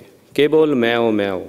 মা তাকে মুখে করে যেখানে নিয়ে যায়, সেখানেই সে নির্ভয়, নিশ্চিন্ত। শরণাগতির এই উপমা সুরেন্দ্রর মনে গভীর রেখাপাত করে। তিনি বুঝলেন যে আপন কর্তৃত্ব বোধে তিনি বানরছানার মতোই আচরণ করেন, তাই তার এত দুর্গতি। সেদিন শ্রীরামকৃষ্ণের কাছে এক শান্তিময় পথের হদিশ পেয়ে আশ্বস্ত হন সুরেন্দ্র। বিদায় নেবার সময় এবার শ্রীরামকৃষ্ণকে প্রণাম করেন। ঠাকুরও তাকে স্নেহভরে বলেন, আবার এসো। সূচনা হলো সুরেন্দ্র জীবনে শ্রীরামকৃষ্ণ অধ্যায়। সুরেন্দ্র তাই বলতেন, তার কান মোলে দেব বলে গর্ব করে তার কাছে গেছিলাম, কিন্তু নিজেই কান মোলা খেয়ে ফিরে আসলাম। তিনি কি যেমন তেমন গুরু? আঠেরোশো একাশি সালে আষাঢ় মাসের একদিন শ্রীমোর বর্ণনায় সুরেন্দ্রর বাড়িতে শ্রীরামকৃষ্ণের শুভাগমন। সুরেন্দ্র একটি মালা কিনে নিয়ে এসেছেন, ইচ্ছা ঠাকুরকে পড়াবেন। ঠাকুর সুরেন্দ্রর থেকে সেই মালা নিলেন, কিন্তু পড়লেন না। দূরে একপাশে সরিয়ে রাখলেন। সুরেন্দ্র বুঝলেন, অন্তর্যামী কেন তার মালা গ্রহণ করছেন না। খুব কাঁদছেন আর মনমোহন ও রামকে বলছেন, এখন বুঝতে পারছি আমার অপরাধ। ভগবান পয়সার কেউ নয়, অহংকারেরও কেউ নয়। আমি অহংকারী, আমার পূজা কেন তিনি নেবেন? ইতিমধ্যে ভক্তবাঞ্ছা কল্পতরু শ্রীরামকৃষ্ণ, সুরেন্দ্র দেওয়া সেই মালা যেটি সরিয়ে রেখেছিলেন, সেটি গলায় পড়েছেন আর গাইছেন হৃদয় পরশমণি আমার। আখর দিচ্ছেন, ভূষণ বাকি কি আছে রে? জগৎচন্দ্র হার পড়েছি। গানের শেষে অনুতপ্ত সুরেন্দ্রকে বলছেন, আমায় কিছু খাওয়াবে না? আমরা দেখি শ্রীরামকৃষ্ণ এইভাবে সুরেন্দ্রর অহংকার চূর্ণ করে স্নেহমিশ্রিত শাসন ও অহেতুকী ভালোবাসায় ক্রমশ তাকে বিপদ থেকে সুপথে নিয়ে গেছেন। এমনই ছিল তার শিক্ষাদানের পদ্ধতি। ঠাকুরের দিব্যসঙ্গ লাভ করেও সুরেন্দ্র তার পূর্ব সংস্কারের বশবর্তী হয়ে যখন মন্দ জায়গায় যাচ্ছেন, ঠাকুর একথা শুনে বলেছিলেন এখনও ভোগ বাসনা আছে, দিন কতক ভোগ করে নিক, এরপরও সব কিছুই থাকবে না, একেবারে নির্মল হয়ে যাবে। একদিন সুরেন্দ্র দক্ষিণেশ্বরে এসেছেন, কিন্তু কৃতকর্মের জন্য লজ্জায় শ্রীরামকৃষ্ণের কাছে এসে বসলেন না। ঠাকুর তখন সুরেন্দ্রকে বলছেন, কাছে এসো, দিয়ে ডেকে কাছে ডেকে ভাবস্থ অবস্থায় বললেন আচ্ছা লোকে যখন কোথাও যায়, তখন মাকে সঙ্গে নিয়ে যায় না কেন? মা সঙ্গে থাকলে অনেক মন্দ কাজের হাত থেকে নিস্তার পাওয়া যায়। সুরেন্দ্র বুঝলেন অন্তর্জামী শ্রীরামকৃষ্ণ তাকে কি শিক্ষা দিতে চাইছেন। এরপর থেকে সুরেন্দ্র জীবন ক্রমশ সংযত হতে থাকল। আঠেরোশো তিরাশি সালের চব্বিশে ডিসেম্বর দক্ষিণেশ্বরে ঠাকুরের কাছে সুরেন্দ্র সেদিন কথা প্রসঙ্গে বলছেন যে একবার বৃন্দাবন দর্শনে গিয়ে ওখানকার বাবাজি, পাণ্ডা কাউকেই কোনো রকম দান না করে মিথ্যা বলে কলকাতায় চলে এসেছেন। এ কথা শুনে ঠাকুর সুরেন্দ্রকে ভৎসনা করে বলছেন, ছি, ও ভালো করো নাই। যাদের টাকা আছে, তাদের অরূপ লোকের সামনে পড়লে কিছু দিতে হয়। তারপর বলছেন, তোমায় দেবীপুত্র দেখেছিলাম। তোমার দুই আছে, যোগ আর ভোগ। শ্রীরামকৃষ্ণ সুরেন্দ্রর মদ্যপানে আসক্তির কথা জানতেন। একেবারে মদ্যপানে নিষেধ করলেন না। বরং বললেন, দেখো, যা খাবে, তাকে নিবেদন করে খাবে। তাকে চিন্তা করতে করতে তোমার আর পান করতে ভালো লাগবে না। তিনি কারণানন্দ দায়নি, তাকে লাভ করলে সহজানন্দ হয়। আঠেরোশো পঁচাশি সালের বাইশে ফেব্রুয়ারি, শ্রীরামকৃষ্ণ জন্মোৎসব দক্ষিণেশ্বরে পালিত হচ্ছে। সেই দিনের বিবরণ কথামৃতে আছে। এই শিরোনামে শ্রীরামকৃষ্ণ ভক্ত সঙ্গে সুরেন্দ্রর প্রতি উপদেশ, গৃহস্থ ও দান ধর্ম ঠাকুর সুরেন্দ্রকে সস্নেহে বলছেন, মাঝে মাঝে এসো সাধুসঙ্গ সর্বদাই দরকার। তোমরা মাঝে মাঝে নির্জনে যাবে আর তাকে ব্যাকুল হয়ে ডাকবে। তোমরা মনে ত্যাগ করবে। বীর ভক্ত না হলে দুই দিক রাখতে পারে না। তুমি যে দান ধ্যান করো, খুব ভালো। যাদের টাকা আছে, তাদের দান করা উচিত। কৃপণের ধন উড়ে যায়, দাতার ধন রক্ষা হয়, সৎ কাজে যায়। যে দান ধ্যান করে, সে চতুর্বর্গ ফল লাভ করে। সুরেন্দ্র তখন বলেন, আমার ধ্যান ভালো হয় না। মাঝে মাঝে মা মা বলি, আবার মা মা বলতে বলতে ঘুমিয়ে পড়ি। ঠাকুর উৎসাহ দিয়ে বলেন, তাহলেই হলো। স্মরণ মনন তো আছে। এই আঠেরোশো পঁচাশি সালেরই তেইশে ডিসেম্বর শ্রীরামকৃষ্ণ শ্রীমকে বলেছেন, তিনি ভক্তের জন্য দেহ ধারণ করে আসেন। তার সাথে সাথে আসেন ভক্তরা, কেউ অন্তরঙ্গ, কেউ বহিরঙ্গ, কেউ রসদ্দার শ্রীরামকৃষ্ণ সুরেন্দ্রকে চিহ্নিত করেছিলেন অন্যতম রসদ্দার বলে। শ্রীরামকৃষ্ণের সঙ্গে প্রথম দেখা হবার পর থেকেই সুরেন্দ্র দক্ষিণেশ্বরে ঠাকুরের ভক্ত সেবার জন্য কিছু অর্থ দান করতেন। এরপর আঠেরোশো পঁচাশি সালের শেষ দিকে শ্রীরামকৃষ্ণ তার চিকিৎসার জন্য দক্ষিণেশ্বর থেকে প্রথমে বলরামবাবুর বাড়ি, সেখানে সাত দিন থাকেন। সেখান থেকে আসেন শ্যামপুকুরের এক ভাড়া বাড়িতে এখানে শ্যামপুকুরের ভাড়া বাড়িতে ঠাকুরের স্থান মানে যতদিন থাকেন সেটা হচ্ছে সত্তর দিনের একটা লিমিট। লীলা প্রসঙ্গকার লিখছেন, এই ভাড়া বাড়ির সমস্ত ব্যয় সুরেনবাবু একাকী বহন করেছিলেন। ওই বছরেরই ডিসেম্বর মাসের প্রথম দিকে ঠাকুরের অসুখ আরও প্রবল আকার ধারণ করে। ডাক্তার মহেন্দ্র সরকার ও ঠাকুরের ইচ্ছা অনুসারে তাকে শ্যামপুকুরের বদ্ধ পরিবেশ থেকে নিয়ে আসা হয় খোলামেলা পরিবেশের কাশীপুর বাগান বাড়িতে উদার হস্ত সুরেন্দ্রনাথ শ্রীরামকৃষ্ণ আদেশে এই বাগান বাড়ির ভাড়ার খরচের দায়িত্ব নেন। সানন্দে ভাড়ার জন্য অঙ্গীকার পত্রে সই করেন। প্রথমে ছ মাস পরে আরও তিন মাস বাড়ানো হয়, মোট ন মাস। শ্যামপুকুর ও কাশীপুরে শুধু এই বাড়ি ভাড়ার খরচ নয়, অন্যান্য অনেক খরচও সুরেন্দ্র স্বেচ্ছায় বহন করতেন। কাশীপুরে দিনের বেলায় ঠাকুরের ঘর গরম হয়ে যায়, ঠাকুর খুব কষ্ট পেতেন। সুরেন্দ্র এটি খেয়াল করলেন এবং ঘরের জন্য খসখসের পর্দা কিনে এনে সেটিকে টাঙানোর ব্যবস্থা করলেন। এই রকমভাবে গুরু সেবার জন্য সুরেন্দ্র সর্বদা তৎপর হয়ে থাকতেন। আঠেরোশো একাশি সালে সুরেন্দ্র ঠাকুরের অনুমতিক্রমে তার জন্মতিথির দিন জন্ম উৎসবের প্রবর্তন করেন। প্রথম দুই বছর, আঠেরোশো একাশি এবং আঠেরোশো বিরাশি, সুরেন্দ্র নিজেই সব ব্যয়ভার বহন করতেন, তারপর থেকে অন্য ভক্তরাও তার সাথে সেই খরচ ভার বহন করলেও সুরেন্দ্র অধিকাংশই খরচই নিজে কিন্তু দিতেন। আঠেরোশো একাশি সালের দশই ডিসেম্বর সুরেন্দ্রর পরম আগ্রহ ও পূর্ব পরিকল্পনায় রাধাবাজারের বেঙ্গল ফটোগ্রাফার স্টুডিওতে শ্রীরামকৃষ্ণের স্টুডিও ফটোগ্রাফটি তোলা হয়। ছবিটিতে দেখা যায় শ্রীরামকৃষ্ণ সমাধিস্থ, স্মিত হাস্যময়, একটি স্তম্ভের উপর হাত রেখে দাঁড়িয়ে আছেন। এই স্টুডিও ফটোগ্রাফটি শ্রীরামকৃষ্ণের সংরক্ষিত যে তিনটি ছবি, তার মধ্যে অন্যতম। ওই বছরে বা কিছু পরে এই স্টুডিও ফটোগ্রাফকে অবলম্বন করে সুরেন্দ্র জনৈক এক আর্টিস্টকে দিয়ে প্রথম ওয়েল পেন্টিংটি আঁকান। পেন্টিংটিতে ঠাকুরের সর্বধর্ম সমন্বয়ের ভাবটি তুলে ধরা হয়েছিল।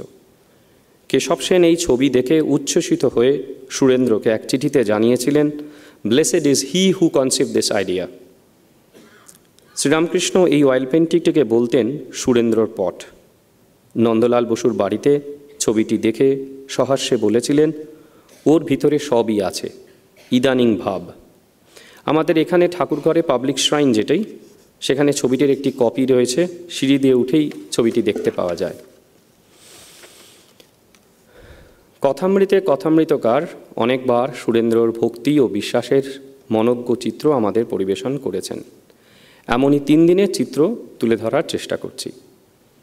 আঠেরোই অক্টোবর আঠেরোশো পঁচাশি। শ্রীরামকৃষ্ণ তখন শ্যামপুকুরের বাড়িতে রয়েছেন। ঠাকুরের অনুমতি নিয়ে বীরভক্ত সুরেন্দ্র নিজের বাড়িতে দুর্গাপূজা করছেন। ঠাকুর অসুস্থ, সুরেন্দ্রর বাড়ি যেতে পারেননি। বিজয়া দশমীর দিন সুরেন্দ্র ঠাকুরের কাছে এসেছেন, কাঁদছেন, মা মা বলে।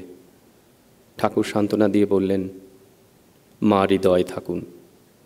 তারপর সুরেন্দ্রকে পুজোর এক সন্ধ্যায়। লীলা প্রসঙ্গকারের মতে সন্ধি পুজোর সময় নিজের এক দিব্য দর্শনের কথা বলেন। যেখানে তিনি দেখেছিলেন শ্যামপুকুরের বাড়ি ও সিমলায় সুরেন্দ্রর বাড়ি এক জ্যোতির্ময় আলো স্রোতে দুই জায়গা এক হয়ে রয়েছে। লীলা প্রসঙ্গে আছে ঠাকুর বলছেন, এখান হইতে সুরেন্দ্রর বাড়ি পর্যন্ত একটা জ্যোতির রাস্তা খুলিয়া গেল। দেখিলাম তাহার ভক্তিতে প্রতিমায় মার আবেশ হইয়াছে। তৃতীয় নয়ন দিয়ে জ্যোতিরশ্মি নির্গত হইতেছে, দালানের ভিতরে দেবীর সম্মুখে দীপমালা জ্বালিয়া দেওয়া হইয়াছে, আর উঠোনে বসিয়া সুরেন্দ্র ব্যাকুল হৃদয় মা মা বলিয়া রোদন করিতেছে। তেরোই এপ্রিল আঠেরোশো ছিয়াশি, কাশীপুর, সুরেন্দ্র অফিসের কাজ সেরে রাত্রি আটটা নাগাদ ঠাকুরের কাছে এসেছেন। সঙ্গে নিয়ে এসেছেন চারটি কমলালেবু ও দুই ছড়া ফুলের মালা। ঠাকুরকে প্রণাম করে বলছেন, আজ পয়লা বৈশাখ। আবার মঙ্গলবার। কালীঘাটে যাওয়া হলো না। ভাবলাম যিনি কালী যিনি কালী ঠিক চিনেছেন, তাকে দর্শন করলেই হবে। গুরু দর্শনে শুনেছি ফুল, ফল নিয়ে আসতে হয়, তাই এগুলি আনলাম। ভগবান মনের ভক্তি দেখেন, তবে গ্রহণ করেন। কাল আসতে পারি নাই, আপনার ছবিকে ফুল দিয়ে সাজালুম। শ্রীরামকৃষ্ণ সব শুনে শ্রীমকে বলছেন, আহা, কি ভক্তি! এর কিছুদিন পর, আঠেরোই এপ্রিল, কথামৃতে বিবরণ এইভাবে, ঠাকুরের আত্মপুজো, সুরেন্দ্রকে প্রসাদ। সুরেন্দ্র ঠাকুরের কাছে এসে ফুলের মালা নিবেদন করেছেন। ঠাকুর সুরেন্দ্র নিবেদিত মালা গলায় ধারণ করে বসে আছেন। শ্রীম লিখছেন, যিনি অন্তরে আছেন, ঠাকুর তাহারই বুঝি পূজা করছেন। কিছুক্ষণ পর সুরেন্দ্রকে কাছে ডেকে সেই প্রসাদী মালা তার গলায় পরিয়ে দেন। সুরেন্দ্র মালা গ্রহণ করে প্রণাম করেন। ঠাকুর তার পায়ে হাত দিতে ইঙ্গিত করেন এবং পায়ে হাত বুলিয়ে দিতে ইঙ্গিত করেন। ভাবাবিষ্ট হয়ে সুরেন্দ্র সেদিন গেয়েছিলেন, আমার পাগল বাবা, পাগলি আমার মা, আমি তাদের পাগল ছেলে আমার মায়ের নাম শ্যামা। কাশীপুরে শ্রীরামকৃষ্ণের মহাপ্রয়াণ হয় sixteenth August eighteen eighty six তার কিছুদিন পর কাশীপুর বাগানবাড়ি যখন ছেড়ে দেওয়া হয়েছে, সেই রকম এক সময় সুরেন্দ্র সকলকে আবার একত্র করেন। এক সন্ধ্যায় সুরেন্দ্রনাথ শ্রীরামকৃষ্ণের দিব্য দর্শন পান। ঠাকুর তার সামনে আবির্ভূত হয়ে বলেন, তুই করছিস কি? আমার ছেলেরা সব পথে পথে ঘুরে বেড়াচ্ছে, তার একটা ব্যবস্থা কর। সুরেন্দ্র তখনই স্বামীজির বাড়িতে উপস্থিত হয়ে সব বিবরণ দিয়ে তাকে একটি আস্তানা খুঁজতে বলেন, যে স্থান আবার হয়ে উঠবে রামকৃষ্ণময়। কাশীপুরে প্রতি মাসে যে টাকা দিতেন, সেই টাকাই আবার দিতে চান। এইভাবে বরাহনগর মঠের সূত্রপাতে শ্রীরামকৃষ্ণ সংঘের প্রতিষ্ঠা হয়। শ্রীম লিখছেন, ধন্য সুরেন্দ্র, এই প্রথম মঠ তোমারই হাতে গড়া। স্বামীজি শিষ্য শরৎচন্দ্রকে বলছেন, সুরেশবাবুর নাম শুনেছিস তো? তিনি এই মঠের একরকম প্রতিষ্ঠাতা। তিনি বরাহনগর মঠের সব খরচপত্র বহন করতেন। ওই সুরেশ মিত্তিরই আমাদের জন্য তখন ভাবত তার ভক্তি বিশ্বাসের তুলনা হয় না। অবশেষে তার কাজ সমাপন করে ঠাকুরের স্নেহের সুরেন্দর আঠেরোশো নব্বই সালের পঁচিশে মে, মাত্র চল্লিশ বছর বয়সে শ্রীরামকৃষ্ণ পাদপদ্মে চিরতরে মিলিত হলেন। যখন তিনি খুব অসুস্থ, সেই অবস্থায় এক হাজার টাকা শ্রীরামকৃষ্ণ মন্দির বাবদ কারুর কাছে গচ্ছিত রেখেছিলেন। বেলুর মঠ হলে শ্রীরামকৃষ্ণ মন্দিরের মার্বেল পাথরের মেজে প্রস্তুত করবার সময় তার সেই দান ব্যবহৃত হয়। শ্রীরামকৃষ্ণের অন্তলীলাকে আবর্ত করে ভক্ত সাথে তার যে নানান দিব্য লীলাবিলাস সে প্রসঙ্গে স্বামীজি অবেদানন্দজিকে বলেছিলেন all this will appear like a dream in our lives only its memory will remain with us এ সকল কিছু আমাদের জীবনে মনে হবে যেন স্বপ্ন, কেবল এর স্মৃতিসুধাই হবে আমাদের চিরসাথী আবহমান কালের জন্যে দুর্লভ সম্পদ। শ্রীরামকৃষ্ণ প্রণামস্ত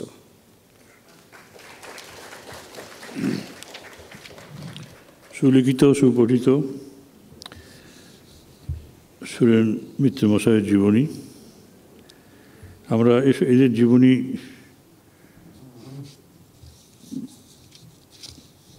ভালো করে জানব রামকৃষ্ণ আন্দোলন রামকৃষ্ণ সংঘ তার কার্যধারা কীভাবে চলেছে, কীভাবে শুরু হয়েছে সেসব কাহিনী এখানে পাওয়া যায়। আর ঠাকুরের সঙ্গে এদের সম্পর্ক কীরকম ছিল, কীরকমভাবে তারা ঠাকুরকে দেখেছেন, ঠাকুর তাদের কীভাবে দেখেছেন? ঠাকুরের ভাব এদের জীবনকে আশ্রয় করে অবলম্বন করে সমাজে ছড়িয়েছে। এই জন্যই এই ভক্তদের জন্য আলোচনা চক্র। এবার শ্রী সুমন ভৌমিক, সুমন ভৌমিককে আমরা সকলেই চিনি, সূত্রধর প্রকাশনা বিভাগের কর্ণধার। তাকে অনুরোধ করব শ্রী নবাই চৈতন্য সম্বন্ধে বলতে। নবচৈতন্য কন্যাগড়ের তেমন খুব প্রসিদ্ধ নন, কিন্তু ঠাকুরের ভাবে একেবারে ভাবিত কন্যাগড়ে এমনি ভক্তমালিকা বা অন্যান্য পুস্তকে তার আলোচনা পাওয়া যাবে না। কিন্তু যারা একটু গবেষণা করেন, তারা সহজেই তার সম্বন্ধে অনেক কিছু জানতে পারবেন। আর আমাদের সুমন ভৌমিক, উনি তো একটু গবেষণা প্রিয়। সুতরাং আমরা তাকে সেই জন্য এই প্রায় অনালোচিত, অনালোকিত জীবনটিকে আমাদের সামনে আলোকময় করে দেবার জন্য অনুরোধ করেছি তিনি রাজি হয়েছেন।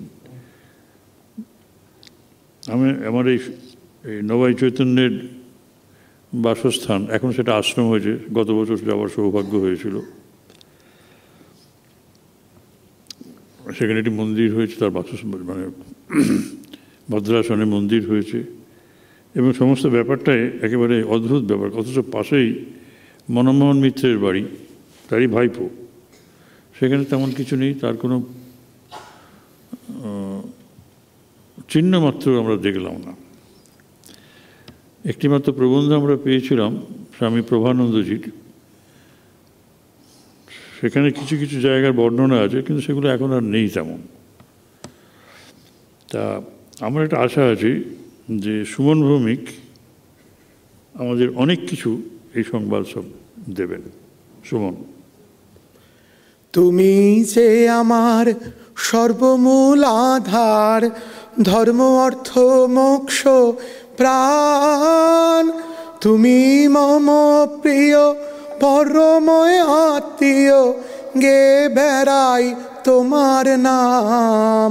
প্রভু হে, প্রিয় হে রামকৃষ্ণ গুণধাম, বড় আপন জেনে তোমায় ডাকি ভকত লাসি আমি ধন চাই না, মুক্তি চাই না, শুধু চাই পদয়ভিলাসী বৈষ্ণব গীত রচয়িতা বৃন্দাবন চন্দ্র গোপের এই অসাধারণ কীর্তনাক্ষরে অধ্যাত্ম মাধুর্যকণা আপনাদের কাছে পরিবেশন করলাম।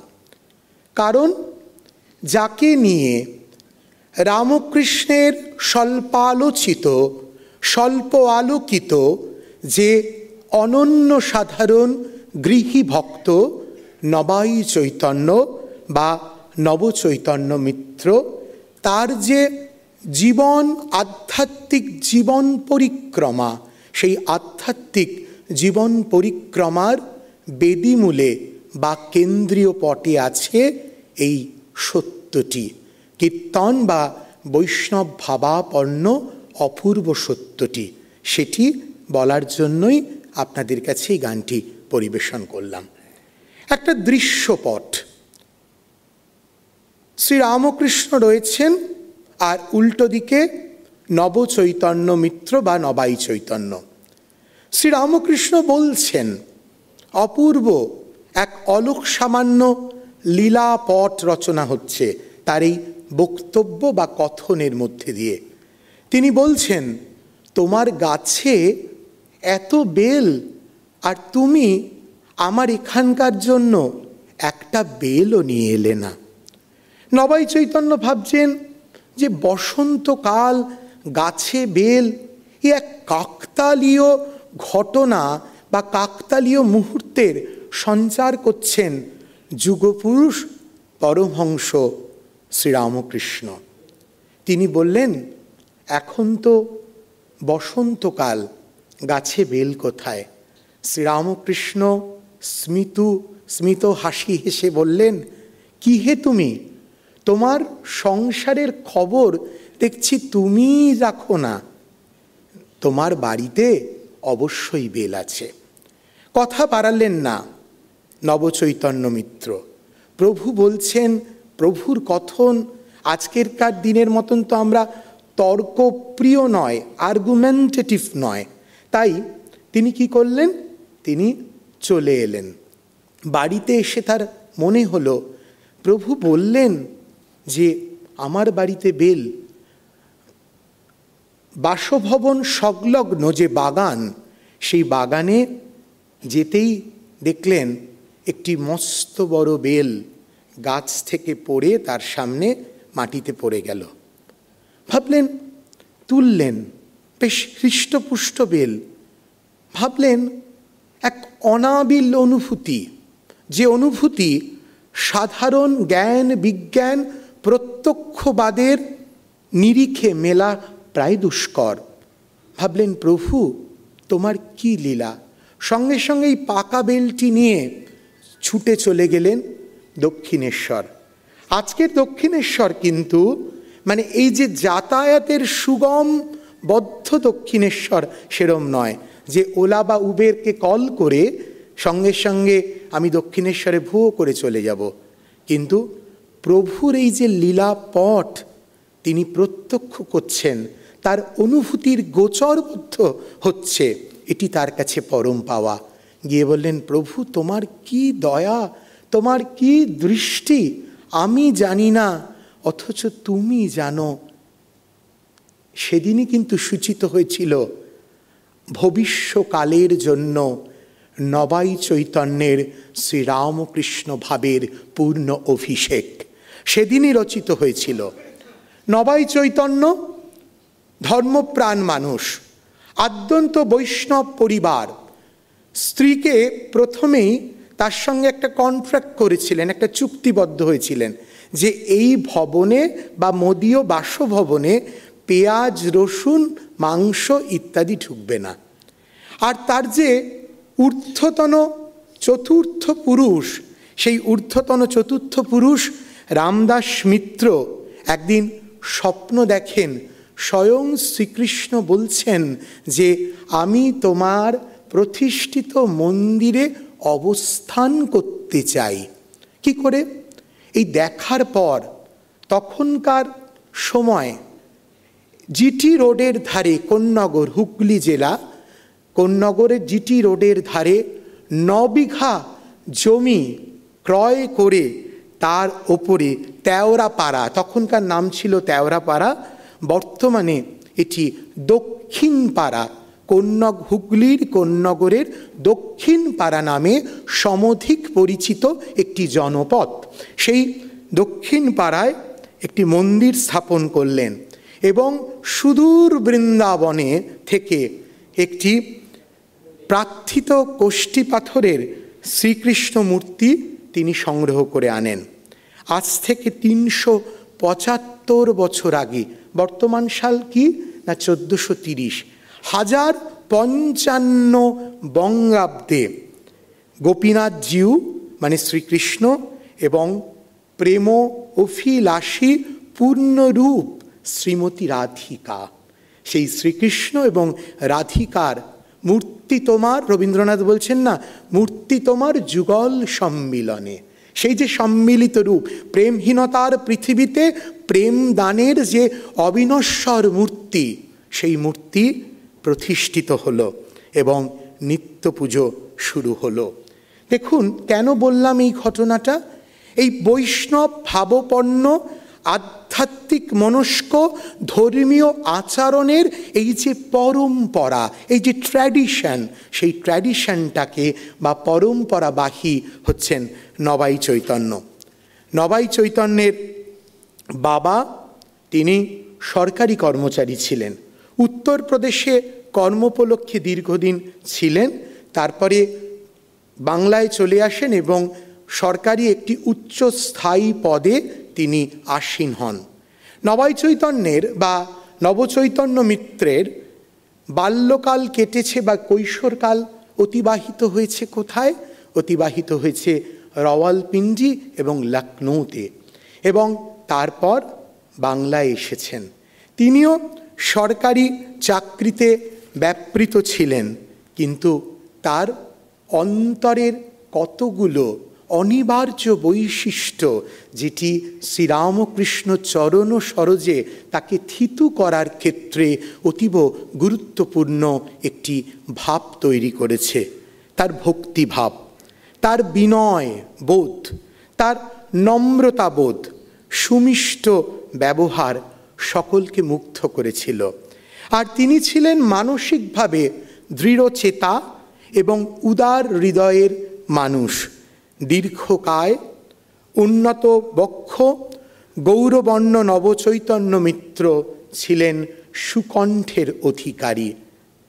এই যে গাইলাম, যে এসো অনাথ স্মরণ ত্রিতাপহরণ, এই যে ধরুন এই যে কীর্তনাঙ্গের আরেকটি গান। এক সেকেন্ড।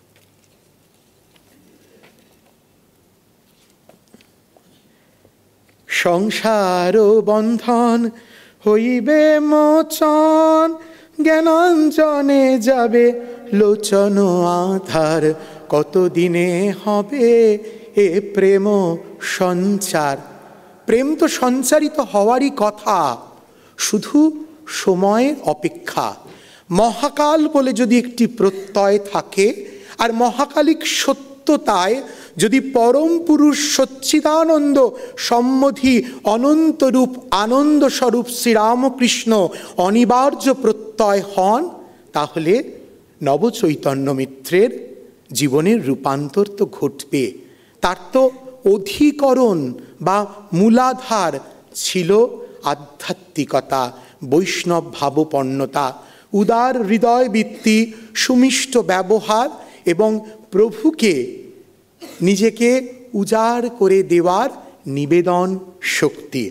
এমন ছিলেন নবচৈতন্য মিত্র। আঠেরোশো আটাত্তর সালের শেষে অথবা আঠেরোশো উনআশি সালের প্রথমে শ্রীরামকৃষ্ণের সঙ্গে তার প্রথম সাক্ষাৎ দক্ষিণেশ্বর। আমি বলি সবসময় দক্ষিণেশ্বরের বর্ণনায় কৈবর্ত রানী রাসমণির মহান আধ্যাত্মিক কীর্তি। বারোটি শিব মন্দির, পূর্ণতোয়া গঙ্গা বয়ে চলেছে, একদিকে জগৎ তারিণী মহাশক্তি রূপিণী, অনন্ত স্বরূপিণী মা ভবতারিণীর মন্দির, আরেকদিকে রাধাকৃষ্ণ মন্দির। আর ঠিক তার অনতি দূরে একটি ছোট্ট অপ্রশস্ত অংশ বা ক্ষেত্র। সেখানে গেলে গিজগিজ করা, কিলবিল করা কলকাতার মানুষগুলো গেলে যেন শুনতে পায়, সংসার বিদেশে বিদেশির বেশে মন কেন অকারণে? মন চলো নিজ নিকেতনে। এই নবাই চৈতন্য যখন এলেন সেই দক্ষিণেশ্বরের ঘরে, তখনও তিনি মন্ত্রমুগ্ধের মতন। তার ভেতরে যে জমা ভাব, ভাবরাশির যে স্ফুরণ, যেটি কীর্তনের আখরের মধ্যে দিয়ে পরিপূর্ণতার সঙ্গে প্রকাশিত, উচ্চারিত, যার শান্ত, স্নিগ্ধ রূপ সব কিছুকে যেন একেবারে প্লাবিত করে দেয়। সেই মুহূর্তে শ্রীরামকৃষ্ণের দর্শন পেলেন তিনি। প্রথমেই দেখা, কথা, সংগীত। কথা যখন কণিকা হয়ে যায় সঙ্গীতের রসমালা যখন সেখানে সংযুক্ত হয়, তখন আধ্যাত্মিক অবতরণিকা বা স্পিরিচুয়াল প্রিফেস তৈরি হয়। এটা অধ্যাত্ম শাস্ত্রের গুরুহ কথা তাই সেদিন হলো। এরপর বহুবার গেছেন দক্ষিণেশ্বরে। কখনো কখনো মনমোহন মিত্র তার ভ্রাতস্পুত্র আপনারা জানেন, স্বামী ব্রহ্মানন্দের শ্যালক মনমোহন মিত্র, বিশিষ্ট ভক্ত, তার তিনি হচ্ছেন নবচৈতন্য মিত্রের ভাতুষপুত্র তার সঙ্গে গেছেন, একা গেছেন, নানাভাবে শ্রীরামকৃষ্ণ চরণ সরোজে পৌঁছনোর চেষ্টা করেছেন। কন্যগরের এই যে মিত্র পরিবার, তাদের সমৃদ্ধি বা সুস্থিতি কুলদেবতা গোপীনাথ জিউকে ঘিরে। এই পরিবারের যে নিজস্ব ধর্মচারণ, সেই ধর্মচারণের সার্থক উত্তর পুরুষ নবচৈতন্য মিত্র, তিনি এই পরিবারের মুকুট স্বরূপ। তার জন্ম সঠিকভাবে জানা যায় না, ঊনবিংশ শতাব্দীর চতুর্থ দশকে। অর্থাৎ এই যে বন্ধা আবহাওয়া বা প্রতিবেশ, যেখানে ধর্মের সঙ্গে ধর্মের অদ্ভুত রকমভাবে সংঘর্ষ, বিবাদ এই রকম একটা বাতাবরণে নবচৈতন্য মিত্র এই পৃথিবীর বুকে ভূমিষ্ঠ হচ্ছেন। তার সহধর্মিনী ভক্তিমতী সত্যভামা দেবী। স্ত্রীর কাছ থেকে পূর্বেই বলেছি, তিনি প্রতিশ্রুতি আদায় করে নিয়েছিলেন, বাড়িতে কখনো মাছ, মাংস, পেঁয়াজ ঢুকবেন না। অর্থাৎ আচরিত ধর্মের দিক থেকে বা জীবন যাপনের দিক থেকে পরিপূর্ণরূপে বৈষ্ণব ভাবাপর্ণ এই পরিবার। তাদের তাদের দুই ছেলে অতুল ও প্রতুল, আর চার কন্যা। দেখুন সুভাষিনী প্রমোদিনী, অমোদিনী। প্রমোদিনী এবং আমোদিনী। আমাদের এই যে মানব জীবনের যে নানা রকমের বৃত্তান্ত কলা, তার সঙ্গে কিন্তু এই ছটি সন্তানের নামকরণ কীভাবে উন্নীত হয়েছে? দেখুন, অতুল, প্রতুল। সুহাসিনী সুভাষিনী, প্রমোদিনী, অমোদিনী। আমোদিনী। সত্যভামা, সহধর্মিনী বা পত্নী, ধর্মপত্নী, সত্যভামার দেহান্তের পর প্রায় দুদশক তিনি স্থূল দেখেছিলেন নবচৈতন্য এবং এই নবচৈতন্য বাড়িতে আমাদের নব কন্যগরের যে বাড়ি, সেখানে শ্রীরামকৃষ্ণ একাধিকবার গেছেন। প্রথম আঠেরোশো বিরাশি সালের তিন ডিসেম্বর, বারোশো উননব্বই বঙ্গাব্দের আঠেরো অগ্রাণ দক্ষিণেশ্বরে নৌকোযোগে কন্যগরের পঞ্চু দত্তের ঘাটে অবতরণ করলেন শ্রীরামকৃষ্ণের নৌকো।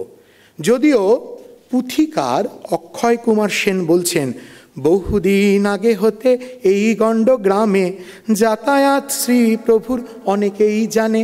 এটা বলছেন মানে ম্যাটার অফ ফ্যাক্টস বা ইনফরমেশন তথ্যের কখনো কখনো অপ্রতুলতার জনিত কারণে এটি সমস্যা হয়। স্থান, কাল বা ঘটনা থাকলেও স্থান, কাল বা সময়ের নির্ধারণ পদ্ধতি। যাই হোক, আমাদের চুলচেরা ইতিহাসনিষ্ঠ উপায়, স্থান, সময়টাকে বিচার করা নয়। আমরা ভাবরাশিকে অন্যয়বদ্ধ করে এই মহাজীবনকে প্রতিভাসিত করার সামগ্রিক একটি চেষ্টাবদ্ধ হচ্ছি।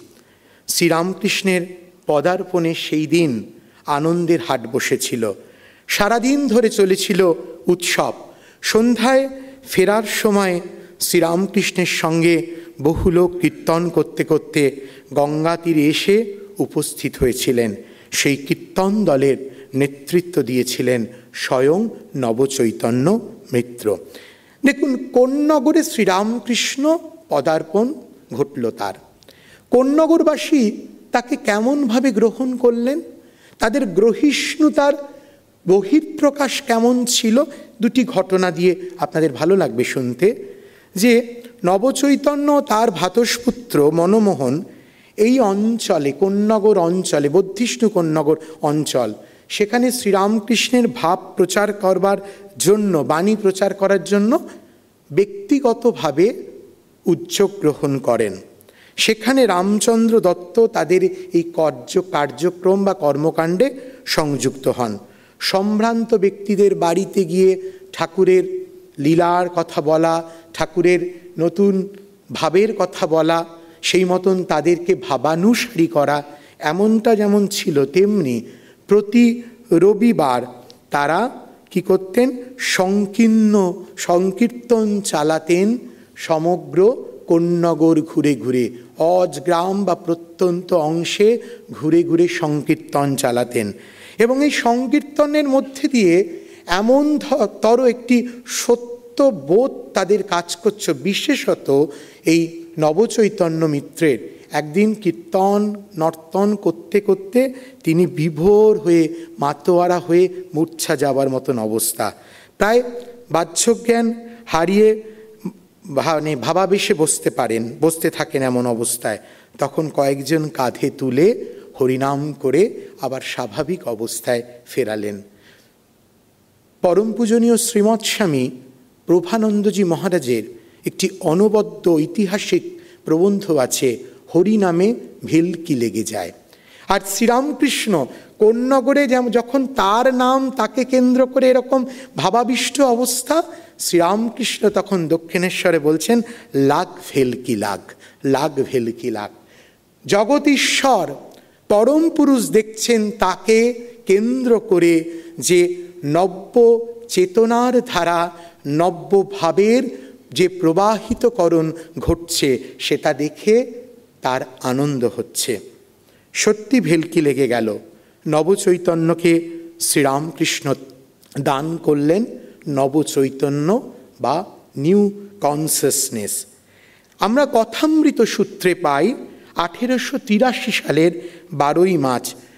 রবিবার ফাল্গুন শুক্লা দ্বিতীয় তিথিতে শ্রীরামকৃষ্ণের জন্মতিথি উপলক্ষে দক্ষিণেশ্বরে তার কাছে ভক্তগণ সমবেত হয়েছেন।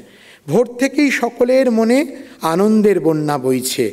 শ্রীরামকৃষ্ণের মুখে মধুর কথা আর সঙ্গীতে ভরে উঠছে দক্ষিণেশ্বরের প্রতিটি কোণা উপকোণা এই সময় খোল করতাল সহযোগে সংকীর্তন করতে করতে উপস্থিত হলেন নবচৈতন্যের নেতৃত্বে কন্যাগড়ের একটি ভক্ত দল। ঠাকুরের ঘরের উত্তর পূর্ব বারান্দায় সকলে প্রেমোন্মত্ত হয়ে সংকীর্তনে মেতে উঠলেন। শ্রীরামকৃষ্ণ সেই মুহূর্তকার মধ্যমণি। কিছুক্ষণ পরেই তিনি গভীর সমাধিতে মগ্ন হলেন। দাঁড়িয়ে রইলেন স্থিরভাবে। ভক্তগণ তাকে ফুলের মালায় সাজিয়ে দিলেন। সেই দেবদুর্লভ রূপ দেখে ভক্তগণের হৃদয় রোমাঞ্চিত হয়ে উঠল। তারও কিন্তু অন্যতম কারিগর ছিলেন এই নবচৈতন্য মিত্র। আরেকটি কথা, আঠেরোশো পঁচাশি সালের পয়লা মার্চ, ফাল্গুন পূর্ণিমা দোলের দিন নবচৈতন্য মিত্রকে পাওয়া যায় দক্ষিণেশ্বরে। কীর্তন, নর্তন অবস্থায় এবং শ্রীরামকৃষ্ণ এই ভাববাহী কীর্তন, নর্তনের শুদ্ধস্থিত সুরেলা সুরে তিনিও যেন ভাবতন্ময় হয়ে গেছেন। বলছেন কি, এই কাজ হলো আর সব মিথ্যে। প্রেম ভক্তি বস্তু আর সব অবস্তু। আর সব অবস্তু। একটা ফিলোসফিক্যাল স্টেটমেন্ট একটি দার্শনিক বিবৃতি। এইটি নবচৈতন্য মিত্র নিজের অন্তরে গ্রহণ করলেন, ভাবলেন তাকে কেন্দ্র করে বা তাকে উদ্দেশ্য করেই প্রভুর এই রকম বাচন, বচন। তারপর থেকে সংসারের দোলায় সংশয়ের ঠেলা। রবীন্দ্রনাথের গান আছে না? নয় নয় হে মধুর খেলা, তোমায় আমায় সারা জীবন। সকাল, সন্ধ্যা, বেলা, নয় নয় হে মধুর খেলা। কতবার যে নিবল বাতি, গর্জে এলো ঝরে রাতি। সংসারের এই দোলায় দিলে সংশয়েরই ঠেলা। নয় নয় এ মধুর খেলা। তেমনি সংসারের ঠেলা সমস্ত কিছু অপসারিত করে দূরীভূত করে কি করলেন? তিনি প্রভুর কথা অনুযায়ী নিজের জীবনকে সমর্পণ করে দিলেন। সব কিছু থেকে সরে গিয়ে গঙ্গা তীরে পর্ণকুটির করে একদম বার্ধক্য অবস্থা অবধি তিনি সাধন, ভজন এবং ত্যাগ, তৃতীক্ষার জীবন যাপনের অভিষিক্ত হলেন এই নবচৈতন্য। এরপর অনেক ঘটনা, প্রভুর সঙ্গে পানিহাটির চিরে উৎসবে প্রভু এসেছেন, দেরি হয়েছেন ওনার আশা, নবচৈতন্য মিত্রে শ্রীরামকৃষ্ণ নৌকায় উঠেছেন, ছুটে গেছেন, কেঁদেছেন, প্রভু কাতর প্রার্থনা করেছেন, শ্রীরামকৃষ্ণ এক অন্য উপায়, তার মধ্যে এক অনন্য বা অলোক সামান্য ভাবের সঞ্চার ঘটিয়েছেন। বুকে হাত দিয়ে সমস্তকে একেবারে বিমোহিত করে দিয়েছেন।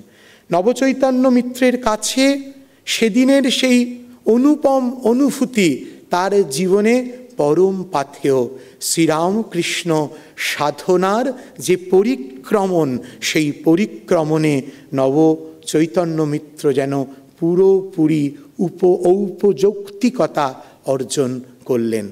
এই নবচৈতন্য মিত্রের সঙ্গে শ্রীরামকৃষ্ণের নান বিশেষত কীর্তন নিয়ে তার কীর্তন খুব ভালোবাসতেন। আর কীর্তনে মাতোয়ারা হয়ে যেতেন স্বয়ং প্রভু কাশীপুরে শ্রীরামকৃষ্ণের যখন অন্তর্লীলার সময়, তখন আসতেন, তার সঙ্গে উচ্চভাবের কথোপকথন হতো। এবং শ্রীরামকৃষ্ণের মানব লীলা সংবরণের পর বরনগর মঠে ত্যাজি, ত্যাগী এবং তেজি জওয়ান যারা রামকৃষ্ণ মহাযজ্ঞে প্রাণ দিয়েছেন, প্রাণ দেওয়ার সংকল্প, তারাও কন্যগরে ওই পর্ণকুটিরে নবচৈতন্যের মিত্রের সঙ্গে কথা বলতেন। বিশেষভাবে আমরা স্মরণ করতে পারি, বুড়ো গোপাল দা, স্বামী অদ্বৈতানন্দ, সিনিয়র সন্ন্যাসী রামকৃষ্ণ ভাবের। তিনি এই নবচৈতন্য মিত্রকে রায়পুর এবং দক্ষিণার্থে বিভিন্ন অঞ্চলে রামকৃষ্ণ ভাব বিস্তারের জন্য বা প্রকাশের জন্য, প্রচারের জন্য পাঠান। অপূর্ব এক জীবন সব কিছু থেকে নিজেকে সরিয়ে নিয়ে সপাকে খান। কোনো কিছু নেন না, অতি সাধারণ। আমাদের উচিত ছিল, আমি পারলাম না তার যে ছবি আপনাদেরকে দেখানো। একেবারে সন্ন্যাসীর মতন, গৃহী সন্ন্যাসী। শ্রীম বলছেন না যে শ্রীরামকৃষ্ণের যারা সন্তান, তারা বাড়িতে থেকে কখনো গৃহী হতে পারে না। তাদের মধ্যে মনোসন্ন্যাস বিদ্যমান ছিল। নবচৈতন্য মিত্র ছিলেন সেই মনোসন্ন্যাসী এক অবিনশ্বর প্রতিমূর্তি। আজকের আহাকার, আজকের ধর্মহীনতা, আজকে আধ্যাত্মিক বিচ্যুতির জগতে যখন আমার আমার করে আমরা শুধু স্পেস ক্রাইসিস তৈরি করি, তখন নব চৈতন্য মিত্র আমাদেরকে ত্যাগ প্রতীক্ষা এবং আত্মযাপনে শ্রীরামকৃষ্ণময় একটি অত্যুচ্ছ ভাবের গহীন সুরকে বাঁশির সুরে হ্যামলিনের মতন সবার কানের কাছে পৌঁছে দেন। এই জন্যই এই অবিনশ্বর, স্বল্পজ্ঞাত, স্বল্প আলোচিত চরিত্রটির অন্তর্মাধুর্য জানা এবং তাকে অনুভব করা আমাদের প্রবলভাবে আধ্যাত্মিক কর্তব্য বলে মনে হয়। উনিশশো চার সাল তার তিনি মানবলীলা সংবরণ করে চলে যান। নবচৈতন্য, একটি নতুন চৈতন্য দিশা আমাদেরকে পরিশীলিত করে, পরিমার্জিত করে। বাসনাহীন ওই অত্যুচ্ছ ভাবজগতে প্রবেশাধিকারের পন্থা বলে দেন তার রাতুল চরণে আমার ভূমিষ্ঠ প্রণাম। ভূমিষ্ঠ প্রণাম ঠাকুর মা স্বামীজির চরণে।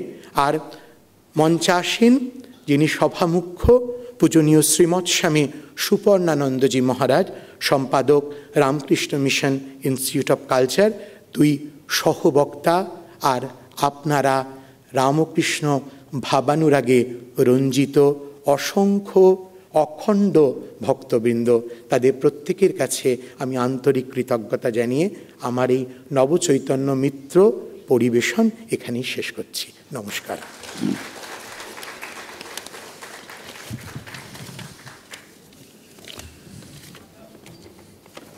সুমন ভৌমিকের আলোচনা আপনাদের ভালো লেগেছে। তিনি সু, সুকণ্ঠেরও অধিকারী দেখলাম। এটা আমাদের নতুন প্রাপ্তি। তার আলোচনা আমরা আগেও শুনেছি এবং আমাদের আশা পূর্ণ হয়েছে।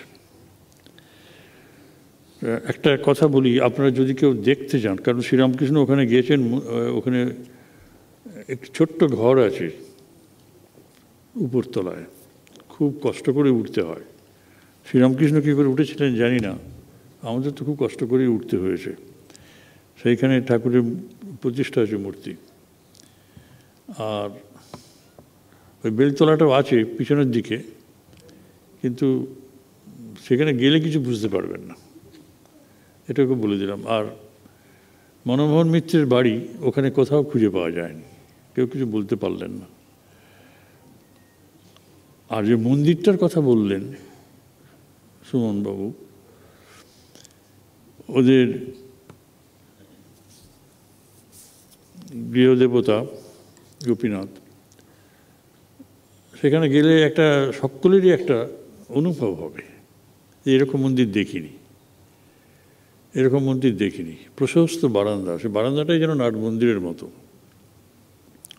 তার নিচে তিন দিকে বোধ হয় চতুর্থ পরিক্রমার বোধ ব্যবস্থা নেই। তিন দিকে মানে প্রশস্ত একেবারে তিন দিক ঘেরা। আর সামনে বেশ চাতাল আছে। বাঁধানো বাঁধানো এটা বারান্দাটে মানে বেশ কিন্তু লো প্রথমেই মনে হবে এটা বোধহয় একটা কোয়ালপাড়ার আশ্রমটার মতো। কিন্তু কোয়ালপাড়া আশ্রম যেমন একধারে, কিন্তু ওর চারদিকে জমি বেশ। সুন্দর একটু, আর তার পাশেই তো ওদের ভদ্রাসন বাড়ি। এই এত কথা শুনলেন নবাই চৈতন্য সম্বন্ধে, এর তার মানে বাস্তুভিটা ভদ্রাসন যেটিকে বলি, দেখা তো উচিত, এবং সেখানে ঠাকুর গেছেন, আমাদের কাছে তীর্থস্থান। এটা যাবেন। সুরেন মিত্রের বাড়ি এখন খুঁজে পাওয়া মুশকিল। কলকাতায় যারা আছেন, খুঁজে পাওয়া মুশকিল। আপনারা হ্যাঁ আপনারা যদি যান, ওই যে ঘুরতে ঘুরতে কেউ না কেউ বলে দেবে। সুরেশ দত্ত একজন আছেন সুরেশ সুরেন মিত্র একজন আছেন। কিন্তু সুরেশ সুরেশ যখন বলতেন ঠাকুর তখন কিন্তু মিত্রকে বলতেন সুরেশ দত্ত না। কিন্তু দেখবেন অনেকের লেখা আছে ভক্তমালিকা অনেকে ভক্তমালিকা নিয়ে লিখেছেন। সেখানে সুরেন মিত্র নেই সে সুরেশ দত্ত রয়েছে হ্যাঁ, হাটকলার সে মানে দত্তপুকুরে সুরেন দত্ত কেউ কেউ সুরেশ দত্ত বলেন আমি জানি না। সুমন হয়তো রিসার্চ করে বের করতে পারবে। সেই সুরেশ দত্ত কে? তিনি কি? তার কথাটা রয়েছে। অথচ সুরেন মিত্রের নেই। এটা আশ্চর্য ব্যাপার। আর সুব্রতদা তার প্রপিতামহ নবগোপাল ঘোষ সম্বন্ধে বললেন, এ তো খুব কাছেই, হাওড়া। আপনারা যদি কেউ না গিয়ে থাকেন, যাবেন, ওদের কখন উৎসব হয়? মাঘী পূর্ণিমা। মাঘী পূর্ণিমায় উৎসব হয়, যাবেন। এটা খুব সুন্দর জিনিস। তা, আজকের আলোচনা আপনাদের সকলেরই ভালো লেগেছে, আমি জানি। আমার তো ভালো লাগেই। কারণ কি, প্রচুর গৃহভক্ত ঠাকুরের, নতুন নতুন সব গৃহভক্তদের যদি ভাগবত জীবনের প্রতি আকর্ষণ এবং শ্রীরামকৃষ্ণের মাধ্যমে সেই ভাবের উদ্দীপন এবং উজ্জীবন এবং সার্থকতা লাভ। এইগুলো যদি আমরা দেখি, আমাদের হৃদয়েও এ জাগবে প্রাণ মানে প্রেরণা জাগবে। আমরাও তো ভক্ত, ঠাকুরের ভক্ত, গৃহস্থ ভক্ত। কীরকম হতে হয় গৃহস্থ ভক্ত? তার একটা ছবি আপনাদের মনে গেঁথে যাবে। এই সব ভক্তরা জানতেন না ঠাকুর কোথায় আছেন। দেখুন দক্ষিণেশ্বর কোথায়, মাঝখানে বিশাল গঙ্গা ওপারে কোন্নগর অনেক দূর। এখন কোন্নগরে গিয়ে ওই ঠাকুরের প্রভাব দেখতে পাবেন না, কিন্তু ওই আশ্রমটিকে কেন্দ্র করে আমার মনে হয় ওটা জাগবে জাগবে। আপনারা যাবেন, উৎসবের মাহাত্ম অনুভব করবেন এবং উৎসবের পরিসর বাড়িয়ে দেবেন। ওরাও একটু উৎসাহিত বোধ করবেন। যারা ঈশ্বরকে খুঁজছিলেন এবং তৈরি ছিলেন সাধন পথ পরিক্রমা করবার জন্য ঠাকুর শ্রীরামকৃষ্ণ তাদের সেই আকাঙ্ক্ষা পূর্ণ করেছেন। এটা আশা ছিল তাদের। আকাঙ্ক্ষা ছিল, হতাশ। তারা কেউ হননি। চতুর্দিক থেকে তারা ওখানে গিয়ে হাজির হয়েছেন। এবং আজও যারা আন্তরিকভাবে তাকে ডাকেন তাদের জীবন।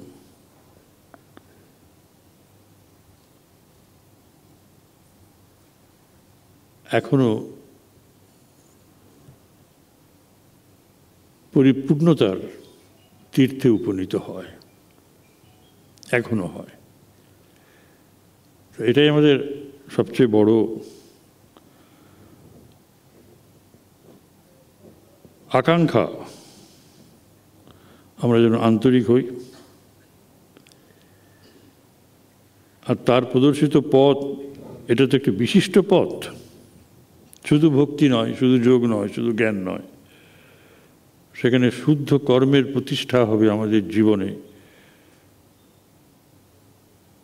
যাতে করে শুদ্ধ মনের বিকাশ ঘটবে। বিকাশ ঘটবে ক্রমশ ক্রমশ বিকশিত হতে হতে। শুদ্ধ বুদ্ধির উদ্রেক করবে। শুদ্ধ বুদ্ধি মানে বিচারপ্রবণ বুদ্ধি। ভালো মন্দ বিচার করে আমরা কাজ করব। ভালোটা করাই চাই, মন্দটাকে বাদ দিয়ে। তাহলেই কিন্তু সমাজ সুস্থির হবে, সুস্থিত হবে। আমরা ভালো মন্দ জানি, কিন্তু ভালোটাতে মন রাখতে পারি না। তার কারণ আমরা কাজের মধ্য দিয়ে নিজেদের আরও দুর্বল করে তুলি, কাজটিকে পবিত্র করতে পারি না। এই পবিত্র হৃদয় তৈরি করার জন্য, মন তৈরি করার জন্য, বুদ্ধি তৈরি করার জন্য আমাদের কর্মগুলিকে শুদ্ধ করতে হবে। জ্ঞান বলি, ভক্তি বলি, যোগ বলি, সব শেষে কিন্তু আছে ভালোবাসা। সেই ভালোবাসার প্রকাশ ঘটাতে হবে কর্মের ভেতর দিয়ে। এই নূতন ভাব স্বামী ঠাকুর, মা স্বামীজির। আমরা এগুলো বুঝতে পারি না। আমরা ভাবি বোধহয় কীর্তন করলেই হবে। বা ধ্যান করলেই হবে। না। এই নূতন ভাব, এগুলো তো ছিলই। এইভাবে সমাজকে গঠন করতে হবে। এইভাবে যে কর্মশুদ্ধ করে নিজেরা মুক্ত হও, শুদ্ধ বুদ্ধির মনের অধিকারী হও। কর্মে ফাঁকি যাই, ফাঁকিটা ফাঁকিটা হচ্ছে কিনা সেটা আমরা, আমি নিজেই ভালো বুঝি। যে এই কর্মের ভেতর দিয়ে আমি নিজেকে কীভাবে গড়ে তুলব? আমি দেখতে পাচ্ছি এই কর্মে ফাঁকি রয়ে গেছে। সেজন্যই সন্ন্যাসীদের কর্মের পত্তন সমাজকে সুগঠিত করার জন্য। বেদান্তের তত্ত্বকে প্রকাশ করতে হবে কর্মে। সেটা শঙ্করাচার্যও চেয়েছিলেন, কিন্তু সমাজ তৈরি হয়নি।